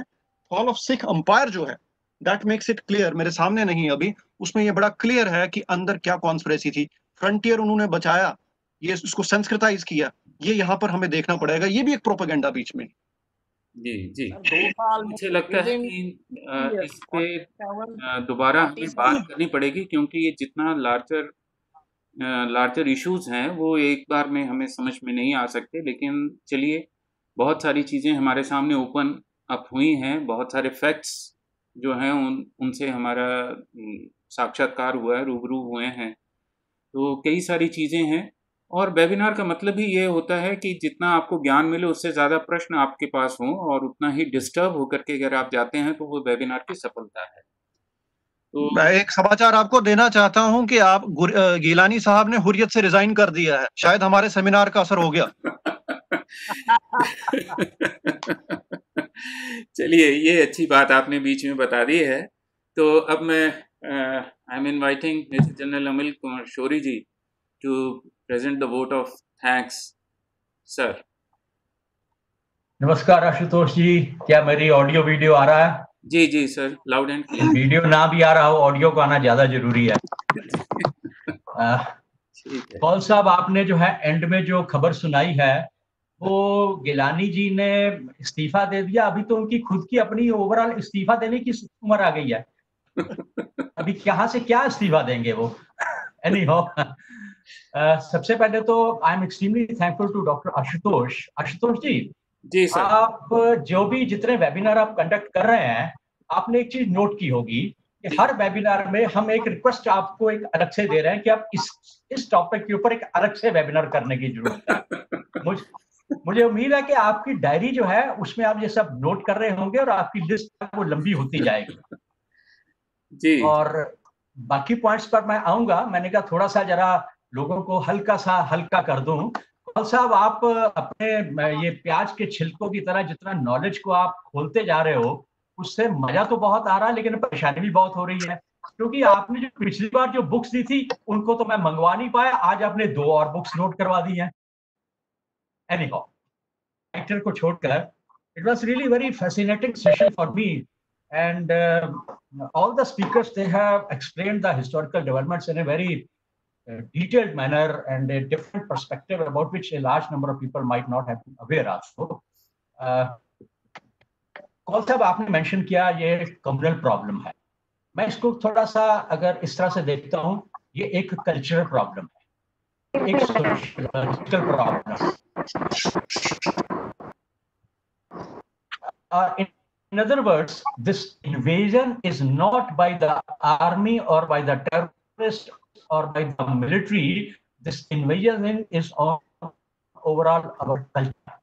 हमारी सारी संस्कृति के ऊपर एक अटैक हो रहा है। हिस्टोरिकल डिटेल्स गांधी जी ने इतनी अच्छी तरह से एक्सप्लेन की हैं। थोड़ा सा मैं एक पॉइंट जो मेंशन करना चाहता हूँ। आशुतोष जी जी सर मैं पार्ट टू की तरफ़ देख रहा था। जी जी सब versus web and way forward way forward I was looking for the way forward way forward जो है आपका इसमें रह गया। आपको एक अलग से सेशन वे फॉरवर्ड के लिए करना चाहिए मैं पिछले सेमिनार्स में भी जो मैं कहता आया हूँ बीइंग एन आर्मी मैन मैं पास की तरफ़ कम जाता हूँ मैं फॉरवर्ड की तरफ़ को ज़्यादा जाता हूँ सो so, हम आगे कहाँ जाना है just for the information of uh, Dr. Kaur, I have written couple of articles about the Kashmir problem. और मैंने कोशिश की है मैं are not aware, but where to go? So for example, demography की बात की है डॉक्टर गांधी आपने जो है रिहेबिलिटेशन का भी वर्ड एक यूज़ किया है। और एक ओवरऑल रैशनल थॉट प्रोसेस और एक कल्चर को वापस लाने की बात की है। मेरा प्रश्न वहीं का वही है। कैसे जाएँगे आगे? हम आगे कैसे जाएँगे? Do we have data of all the Kashmiri migrants which are spread over throughout the country? Do we have the data of their families, of their children? Whether they are studying or not studying or employed or not employed okay मैं मान लेता हूँ एक minute के लिए कि हमारे पास वो सारा डाटा है how we are going to use that data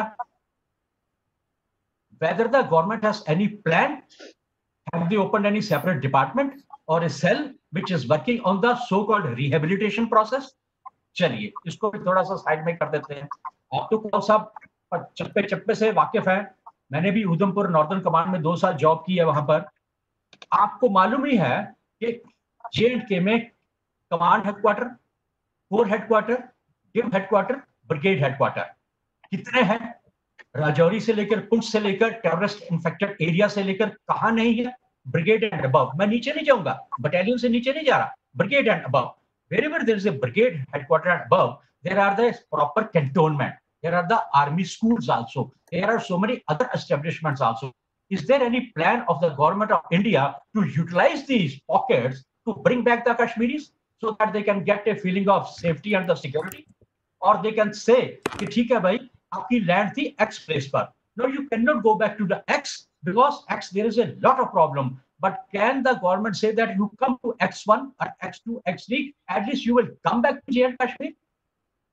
इस वे फॉरवर्ड के ऊपर कहाँ काम हो रहा है मैं बार बार ये सवाल अपने आर्टिकल से उठाता हूँ whether that the all the deputy commissioners or the revenue authorities have been given the task to identify the pockets or the number of the families who have migrated ये हो क्या रहा है ऐसे में हो क्या रहा है कि जो आर्टिकल 370 का एब्रोगेशन है उसके बाद क्या हुआ उसके बाद आगे करना क्या है वो प्लान कहाँ है no people can say yes there is a plan भाई ऐसी कौन सी प्लान है जिसके बारे में कश्मीरियों को नहीं मालूम वो ऐसी कौन सा सीक्रेट प्लान है जिसके बारे में गवर्नमेंट डिस्क्लोज नहीं करना चाहती?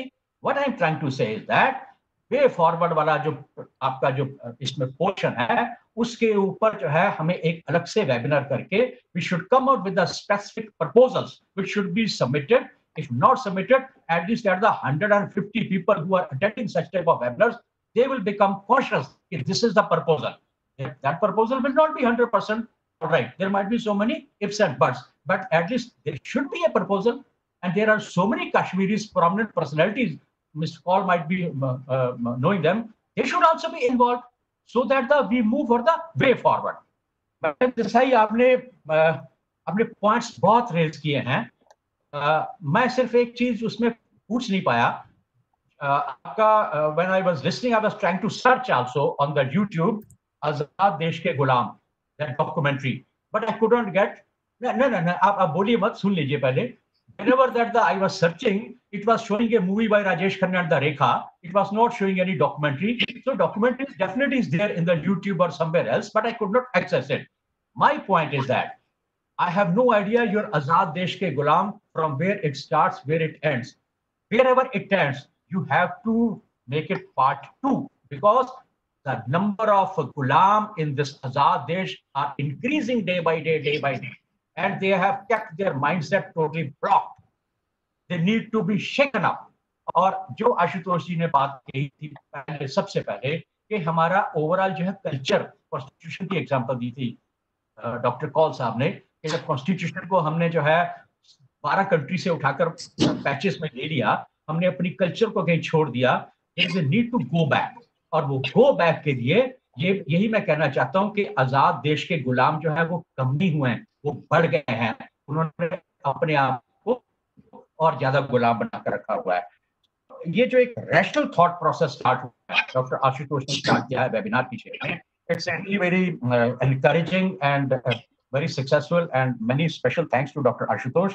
And I request that uh, in future also such type of webinars are conducted. All the three speakers, they have explained their point uh, uh, very easily, but keeping in the paucity of time, there were so many questions and the issues I am sure that they could not tackle it or handle it, for which that the another webinar is definitely required. और मैं मैं request करूँगा आशुतोष जी जे के के ऊपर forward के title से आप एक वेबिनार कीजिए I will be happy to contribute also so once again uh, my thanks to all the speakers and all the participants thank you very much thank you thank you so much sir आपने presidential अपने vote of thanks में जो है, अपना critical comments भी दे दिए, अपनी suggestions भी दी हैं, और धन्यवाद भी सभी का किया है। उसके लिए आपका बहुत बहुत आभार। और निश्चित रूप से ये बात यहीं समाप्त नहीं होती है। मैंने जैसे कि पहले भी कहा कि वेबिनार का मतलब होता है कि और आगे की संभावनाएँ क्या हैं। ये कोई सिर्फ़ एक बार में उत्तर मिल जाए, ऐसा नहीं हो सकता। ना तो हमारे प्रश्न गहरे होते हैं, ना हमारे उत्तर गहरे होते हैं। ये एक तरीका है, एक संस्कार है अपनी बुद्धि का। और प्रयास होता है कि हम अपने विचारों के माध्यम से बुद्धि की अंतिम सीमा को छू लें। तो ये उसी की तैयारी है और निश्चित रूप से हम आगे और भी इसी दृष्टि से सेमिनार कुछ एक लेंगे। और बल्कि ऐसी मेरी भाई बेटी इसकी इस वक्त जो मेरे मन में ज़्यादा सेमिनार के ऊपर वेबिनार जो मैं सोच रहा हूँ। हाँ, मैडम सरिता प्लीज़ दो मिनट के लिए शांति रखें कि कॉन्स्टिट्यूशन और इंडियन कल्चर इसके ऊपर ज़रूर करना चाहता हूँ क्योंकि मुझे लगता है कि कॉन्स्टिट्यूशन जो है वो पर्याप्त नहीं है। वो भारतीय भाषाओं में भारतीय संस्कृति के परिप्रेक्ष्य में नहीं सोचा गया। इसलिए यहाँ पर एक कंफ्यूजन उसने ज़्यादा पैदा कर दी है, जो हमें वो बातें सारी मैं करूँगा आप लोगों के साथ तो बहुत जल्द ही इसके ऊपर हम चर्चा करेंगे और इसी तरह के और भी बहुत सारे इश्यूज़ हैं अभी। आप लोगों ने आज हमारे साथ वैचारिक जो भी आप लोगों ने योगदान दिया है, उसके प्रति मैं बहुत आभार व्यक्त करता हूँ। एक इंफॉर्मेशन शेयर कर दें आशुतोष जी? जी सर कर दीजिए और फिर उसके बाद आ, बस एक छोटी सी इंफॉर्मेशन है।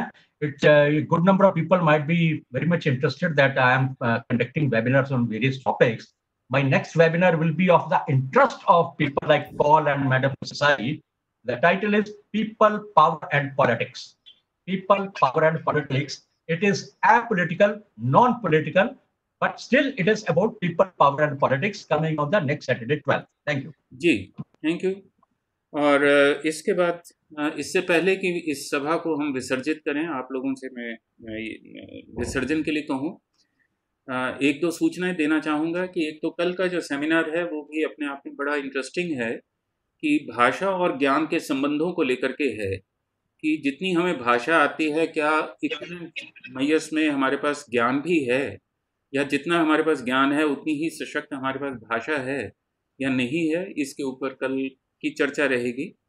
और और अंत में जो मैं एक वही है, दुख है कि हमारे साथ जो बिट्रेल हो रहा है और जो बिट्रेल हम हिंदुओं के साथ किया गया है, उसके बारे में बात नहीं करते लोग। तकलीफ़ होती है अंदर से कि किस तरह से हम हिंदुओं को ही इस धरती के साथ डिसकनेक्ट कर दिया गया है। रूटलेसनेस की एक स्थिति जो है, आम हिंदू फैमिली में देखने को मिलती है। उसको डाल दिया है कि तू स्मार्ट बन जा, तू ये कर दे, तू कुछ करके दिखा दे, लेकिन जब उसका सामना इस तरह के चीज़ों के साथ होता है टेररिस्ट अटैक्स के साथ होता है, उस सोच के साथ होता है, जो किसी एक बिलीफ के साथ जुड़ी हुई होती है तो उसके पास न खड़े होने का स्थान होता है, ना उसके पास कोई फॉल बैक सिस्टम होता है। तो वो बस बहता चला जाता है और अपना ही मज़ाक सा बनवा करके रह जाता है। तो ये बड़ी गंभीर बातें हैं और बहुत लार्जर पर्सपेक्टिव में सोचने की ज़रूरत है इन सब चीज़ों के बारे में। और अंत में मैं एक बार फिर जो मैंने संस्कृत से वाक्य लिया था उसको दोहरा रहा हूँ। हालाँकि मेरी संस्कृति वही कहती है कि महाजनों ये न गता सा पंथा लेकिन साथ ही वो मुझे आगाह कर देती है, यही मेरी संस्कृति की जो डायनेमिक्स है, कि महताम प्रज्ञा अपराधात कि बड़े लोगों के जो प्रज्ञा अपराध होते हैं, जो इंटेलेक्चुअल उन्होंने क्राइम्स कमिट किए हुए होते हैं, उसकी वजह से प्रजा की अधर्म में प्रवृत्ति हो जाती है, अधर्म में चले जाते हैं लोग। और यही हमें देखने में आ रहा है सारे भारत में, कि किस तरह से प्रज्ञा अपराध मैं फिर भी वही कह रहा हूँ कि इसको अंग्रेज़ी में ट्रांसलेट मत कीजिएगा, इसके इसी खूबसूरती को, इसकी जो सरसता है और इसके जो सौंदर्य है, इस शब्द के सौंदर्य को समझने का प्रयास करें और उसको देखें, लागू करके अपने भारत पर, अपने कॉन्स्टिट्यूशन पे कि कितना बड़ा प्रज्ञा अपराध हमने कि 130 करोड़ भारतीयों के साथ किया है। तो इन्हीं शब्द, सभी शब्दों के साथ, इसी तकलीफ़ के साथ, इसी नई संभावनाओं के साथ मैं आप सभी के प्रति अपना आभार व्यक्त करता हूँ कि आपने मेरा ज्ञान, मार्ग का निर्देशन किया मेरी दृष्टि का विकास किया है उस सभी के लिए मैं आप सभी के प्रति अपना आभार व्यक्त करता हूँ। और फिर कल मिलते हैं कल साढ़े दस बजे और देखते हैं कि हमारी भाषा और हमारे ज्ञान के आपस के संबंध कितने मज़बूत हैं और कितने सशक्त हैं। तो इन्हीं सब शब्दों के साथ आप सभी लोग तो छोड़ सकते हैं आप लोग मीटिंग छोड़ सकते हैं। Thank you everyone thank you so much thank you thank you sir नमस्कार। Thank you sir thank you so much thank you doctor Mahesh ji doctor Rajan Gandhi ji, Amil Shori ji, धन्यवाद आपका और बाकी सभी जुड़े हुए लोगों के प्रति मैं आभार व्यक्त करता हूँ। यदि किसी ने अपना रजिस्ट्रेशन फॉर्म नहीं भरा, प्लीज़ वीडियो लिंक, वो लिंक डाला हुआ है, उसको आप भर दीजिए। जनरल साहब, ये मैडम ने अपना वीडियो का लिंक डाल दिया है यूट्यूब का, चैट बॉक्स में आप देख सकते हैं उसे। मैडम, आप बोलना चाहेंगे? Please. Ji I just wanted to say it's not Azad Desh ke Gulam it's आज़ाद देश के गुलाम लोग मैंने शेयर कर दिया लिंक वहाँ पे। जी जी जी देखिए I will share it thank you I am really grateful to you Rajan ji Rajan ji आप भी मेरा धन्यवाद स्वीकार करें। Thank you ji thank you thank you sir thank you thank you doctor Mahesh ji फिर कल मिलते हैं। ठीक है सर। ठीक है ना? क्योंकि ये तो मतलब विषय तो आपके साथ सीधा ही जुड़ा हुआ है। भाषा और ज्ञान ठीक है sir thank you so much कल मिलते हैं everybody is requested to leave the meeting now so I will close it down thank you